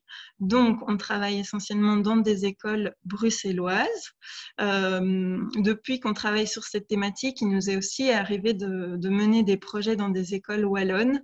Mais voilà, enfin, c'est c'est plus rare en tout cas qu'à Bruxelles. Et pour le moment, on est surtout en train de, enfin, on voudrait développer cette, euh, offre euh, en Wallonie. Alors voilà, pour le moment, c'est euh, c'est répondre à des demandes comme la demande de, de, de Nathalie et voilà, ce sont des, accompagnements de projets comme ça, un petit peu plic-ploc, mais effectivement, vu que cette, euh, cette thématique est euh, à valoriser en Wallonie et que voilà, on a une expertise par rapport euh, différentes années d'expertise, en tout cas en région bruxelloise, on voudrait pouvoir développer ça pour les écoles wallonnes qui sont en tout cas demandeuses. Donc, ce que je voulais aussi dire, c'est que depuis 2019, on a, en 2019 et en 2020, en Wallonie en tout cas, on a co-organisé la Semaine du son. Donc c'est un événement qui, euh, qui est à la base, enfin, qui est international, mais en Belgique, il se fait euh, à Bruxelles depuis plusieurs années. Et voilà, on a, voulu le co-organiser euh, en Wallonie ces deux dernières euh, années. Cette année, ben, il n'a pas pu avoir lieu, mais euh, cette, table ronde voulait aussi faire partie de, cet événement. Du coup, cette année, on a, organisé cette, visioconférence et différentes activités, différentes animations dans des écoles autour d'un jeu de société qu'on a conçu. Donc voilà, là, c'était plutôt des animations plic-ploc. Euh, oui, euh, one shot, mais euh, pour un peu faire véhiculer cette thématique en Wallonie. Alors, donc quand on accompagne une école qui désire mener un projet sur la thématique du bruit, on veille vraiment à co-construire le projet avec, euh, avec l'école, avec les enseignants porteurs du projet. Pour nous, c'est hyper important que euh, le projet rencontre euh, chaque spécificité des, des écoles et de s'adapter vraiment à la réalité, à la réalité de terrain. Donc voilà, on va avoir en premier lieu un accompagnement, des, enseignants euh, pour, euh, pour, répondre à tous les objectifs que vous pouvez voir ici. Euh, et surtout, on va aussi avoir toute une démarche avec les élèves dans un second temps. Tout ça pour vraiment qu'ils puissent, toute l'équipe de l'école puisse s'emparer de la, de la thématique, du projet et pour qu'ils puissent être euh, autonomes euh, après notre intervention par la suite pour que le projet puisse perdurer euh, enfin, après, après notre venue, après l'année de, projet, de projet bruit. Donc, bien sûr, nous ne sommes pas aussi des acousticiens, nous sommes des animateurs. Donc, voilà notre notre apport dans l'école va surtout s'axer sur euh, de la sensibilisation, de la mise en action, essayer de trouver des trucs et astuces euh, que les élèves et les écoles peuvent facilement mettre, euh, mettre en œuvre. Mais voilà, des conseils sur la rénovation des bâtiments, etc. Pour ça, nous ne sommes pas, armés, mais nous pouvons relayer vers des personnes beaucoup plus compétentes, euh, sur, ce, sur cette euh, approche-là. Donc voilà, notre méthodologie. Donc nous, on, l'a envisagée en quatre phases. Une première phase de sensibilisation pour vraiment amener les, élèves et les enseignants aussi porteurs du projet, mais on travaille principalement avec euh, une ou deux classes porteuses euh, les élèves à se réhabituer à écouter les sons parce que comme on l'a dit tout à l'heure, on, développe une habitude à notre environnement sonore et du coup on les invite à se poser, à apprendre à réécouter. Euh, à partager leurs ressentis, etc., par rapport, euh, par rapport à un environnement sonore, euh, une phase aussi de, donc de sensibilisation pour comprendre ce qu'est le son, la différence entre son et bruit, et, et aussi les impacts du bruit sur notre santé. Après, on va leur présenter différents. Donc, il y a une phase vraiment d'action où là, eh ben, on va essayer d'élaborer un plan d'action dans l'école pour essayer de, mener, euh, voilà, d'apporter quelques petits changements dans l'école. Puis une phase de communication parce qu'on se rend compte que si une classe euh, porte un projet seul, eh ben, voilà, les changements ne seront, pas, euh, ne seront pas pérennes et ne seront pas compris des autres classes. Du coup, il y a une, on accorde une importance à cette phase de communication. Et euh, on termine voilà, par une phase d'évaluation pour euh, faire un bilan sur ce qui a été proposé cette année, les changements apportés, voir si on se fixe de nouveaux objectifs pour aller un peu plus loin ou, pas. Voilà, donc voici quelques, quelques photos un peu pour illustrer les différentes, les différentes phases.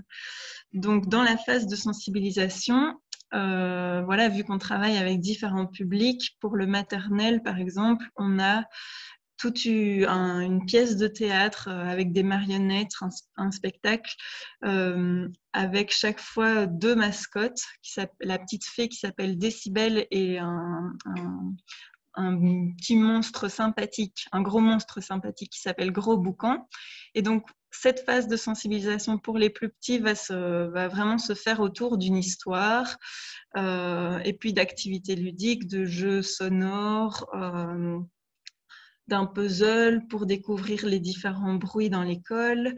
Euh, voilà, là vous avez aussi euh, l'exemple euh, plutôt chez les plus grands d'expériences plus scientifiques pour découvrir vraiment ce qu'est le son, comment il se déplace dans notre oreille, le chemin de l'oreille. On a un jeu de société pour vraiment voilà, découvrir tout ça.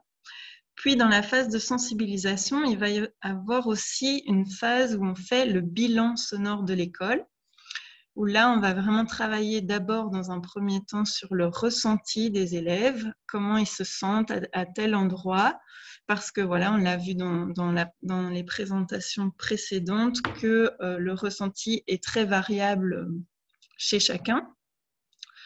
Et après, on va, on va essayer d'objectiver ça en découvrant l'échelle des décibels et en, faisant, euh, en allant prendre des mesures dans l'école avec des sonomètres, euh, aussi bien avec des petits qu'avec des grands. Et pour le secondaire, on essaye parfois, mais bon, ça c'est chaque fois, euh, on, on, s'adapte vraiment aux envies, aux envies des, des, enseignants, mais on essaie parfois de d'élargir d'élargir euh, la sensibilisation aussi au quartier. Donc voilà, on a, une action qui s'appelle Ton quartier à l'écoute euh, aussi. Alors euh, voilà, donc après cette phase de sensibilisation, on va essayer de découvrir différents trucs et astuces. On va essayer de lister tous les bruits qu'on a pu, qu'on a pu découvrir dans l'école et euh, les classer en bruits liés à l'infrastructure, au matériel et des bruits liés au comportement. Et du coup, on va découvrir différents trucs et astuces euh, par rapport à ces deux axes et euh, essayer d'établir un plan d'action avec les élèves. Donc, ils vont choisir quelles solutions ils veulent mettre en place pendant l'année pendant le projet en tout cas, euh, en, se disant bien que voilà, on, veut essayer de faire des choses qui sont réalisables et, euh, et pas s'éparpiller. Donc on essaie vraiment d'être efficace avec ce plan d'action. Donc là, vous pouvez trouver différentes, différentes trucs et astuces qui sont présentés par rapport à, l'infrastructure. Donc, euh, tout à l'heure, on a parlé des balles de tennis sur les chaises. On se rend compte que mettre un coin doux dans une classe ou travailler plutôt en, îlot plutôt que grande tablée dans, des réfectoires, etc., ça peut avoir un impact.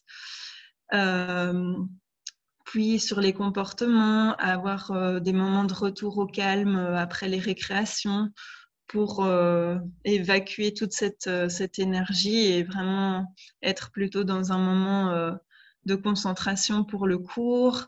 Voilà, donc on a, on a différentes pistes qui sont proposées aux élèves et qui sont testées avec eux. Et puis, donc, pour la phase de communication au reste de l'école, et eh ben là, ça peut prendre vraiment différentes formes euh, on a déjà eu des expositions, comme vous pouvez voir, il y a vraiment de très très belles choses qui ont, qui ont été faites à tous les niveaux. Donc euh, même, euh, même une classe de maternelle peut vraiment, peut vraiment faire vivre différentes choses qu'ils ont eux-mêmes vécues au reste de l'école. Alors voilà, avec cette période un peu difficile de, Covid, on a dû évidemment, évidemment se réinventer aussi. Et c'est pour ça que, ben, par exemple, dans l'école de Nathalie à on a opté pour faire euh, plutôt des, des, capsules vidéo. On fait ça aussi avec une classe de, de, primaire dans une école à Bruxelles parce que voilà, la situation demande, demande de s'adapter. Donc, euh, donc voilà, ça c'est aussi euh, vraiment l'idée de valoriser le projet dans l'école. Euh, il y a certaines écoles qui organisent une journée du grand chute. voilà, il y a plein, plein, plein d'idées qui sont, qui sont émises. Et alors, il y a une phase vraiment d'évaluation. Donc ça, j'en ai déjà un peu parlé, mais par exemple, ça a pu donner donner lieu à une invitation d'un élu local euh, à cette exposition dans une école. Euh, voilà, l'élu est venu écouter, euh, écouter ce qui avait été mis en place dans l'école. ça a pu donner lieu à, à, des discussions, à des changements plus importants dans l'école, à un financement pour là, c'était euh, changer euh, la sonnerie de l'école en, diffusion d'une musique, euh, d'une musique plus douce. Et donc, voilà, pour clôturer cette, journée, enfin cette rencontre, on voulait aussi vous donner différentes ressources qui sont disponibles pour déjà entamer une réflexion sur la thématique bruit dans vos écoles. Euh, parce qu'on sait qu'il y a beaucoup d'enseignants et de, de personnel du scolaire dans, dans, cette rencontre. Donc voilà, il y a un site internet qui a été créé qui s'appelle Bruit à l'école, qui regroupe euh, toutes les ressources dont, dont, on parle là maintenant. Euh, il y a le dossier pédagogique dont on a déjà parlé tout à l'heure. Euh, le site internet de Bruxelles Environnement, effectivement, a, aussi, a aussi différentes ressources. Le réseau Bubble, le jeu de société, l'Odyssée des sons qu'on a qu'on a créé ici pour ces projets euh, est aussi disponible en prêt. Euh, on peut aussi faire des animations autour du jeu dans l'école pour, euh, voilà, entamer, entamer une réflexion avec les élèves. voilà, donc il existe beaucoup, beaucoup de, de choses pour vous aider en tout cas. Et voilà, alors avec, le, avec le confinement, ben, ça, a stoppé certains projets, mais on a, on, a pu, euh, on a pu profiter de ce temps pour vraiment réinvestir euh, la méthodologie et vraiment euh, actualiser les animations et oui, voilà, et aussi entamer une, réflexion pour, pour essayer de, développer cette offre, en tout cas en Wallonie. Donc voilà, c'est aussi pour ça qu'on vous a convié lors de cette rencontre aujourd'hui pour, euh, pour, euh, pour entamer cette réflexion-là. Il y avait une question de Valérie Galini, donc, qui est péricultrice dans une école, et mon local de siège se trouve entre deux classes. Euh, on entend les leçons qui se donnent de part et d'autre. Auriez-vous des pistes pour réduire le bruit qui réveille certains petits? Là, je pense que c'est je vais, je vais répondre si c'est OK pour toi. Euh, j'ai l'impression que c'est des problèmes plutôt euh, de, de, locaux. Euh, nous, on travaille vraiment sur, sur les pistes qu'on peut directement mettre en place avec les élèves pour des problèmes acoustiques liés à, à l'infrastructure. là, on essaye, dans la mesure du possible, de réfléchir aussi à l'organisation spatiale de l'école, voir si parfois, on a souvent des écoles à Bruxelles, en tout cas, où les locaux de cours se trouvent euh, coincés entre la cour de récréation et, euh, une rue. Ben voilà, essayer de voir un peu si on ne peut pas déplacer euh, des locaux de sieste, des locaux de cours, essayer de trouver des solutions à, ce point de vue-là. D'un point de vue acoustique, c'est nous, on n'est pas spécialiste pour intervenir, mais voilà. Je sais pas si. Voulais peut-être ajouter, c'est vrai que c'est important de bien différencier tout ce qui est problème d'isolation acoustique, donc vraiment d'infrastructure entre les deux pièces. Voilà, le mur n'est pas assez lourd, n'est pas assez solide et donc il y a des fuites acoustiques. Ça, c'est vraiment une question de bâtiment. Et puis après, il y a tous les problèmes plutôt de réverbération, d'ambiance sonore, où là, on peut agir de manière peut-être plus facile. Donc, il y a le comportement, mais il y a aussi ajouter des rideaux pour, pour augmenter la, la l'absorption du bruit qui circule dans la pièce. je parlais tout à l'heure, j'ai mis une photo un lien vers un guide acoustique. Et ça, je pense que chez Empreinte, vous, vous parlez aussi de ce cadre euh, d'absorption. Donc, simplement, on peut le construire chez soi, ce petit guide euh, que, j'ai mis euh, en ligne. ça montre comment, avec quatre morceaux de bois, quelques vis, un matériau absorbant, construire un cadre qu'on peut mettre donc dans la pièce pour réduire le bruit, la réverbération, donc l'ambiance sonore. Et c'est vraiment, euh, ça c'est important de comprendre la différence entre ces deux problématiques, du coup, pour voir comment est-ce qu'on peut euh, euh, trouver des solutions et à qui s'adresser, puisqu'évidemment, ce n'est pas les mêmes, les mêmes personnes. Merci Marie-Noël pour ces précisions. comme le disait Annick, donc, qui est responsable du département formation et outils chez Empreinte, il y a des ateliers découvertes du jeu Odyssée des sons euh, qui sont prévus. Et donc, euh, voilà, on vous laissera les coordonnées de la SDL euh, pour des renseignements. il y avait une autre demande par rapport au l'extrascolaire, on peut aussi intervenir dans ce cadre-là. voilà. Je ne vais pas prolonger trop longtemps notre, notre intervention, juste remercier tous les, tous les intervenants et vous dire à tous que voilà, tout ce qui a été euh, évoqué aujourd'hui sera repartagé. Euh, et on vous enverra un mail avec un peu toutes les références qui ont été partagées lors de nos échanges oraux et, euh, et lors de présentation. Un grand merci à tous pour cet après-midi. On se tient au courant. Je pense qu'on fera encore d'autres événements autour de la même thématique. Euh, dans, les, dans les semaines et mois à venir. On vous tiendra au courant de ce qui se passe. Un tout grand merci et une bonne après-midi à vous.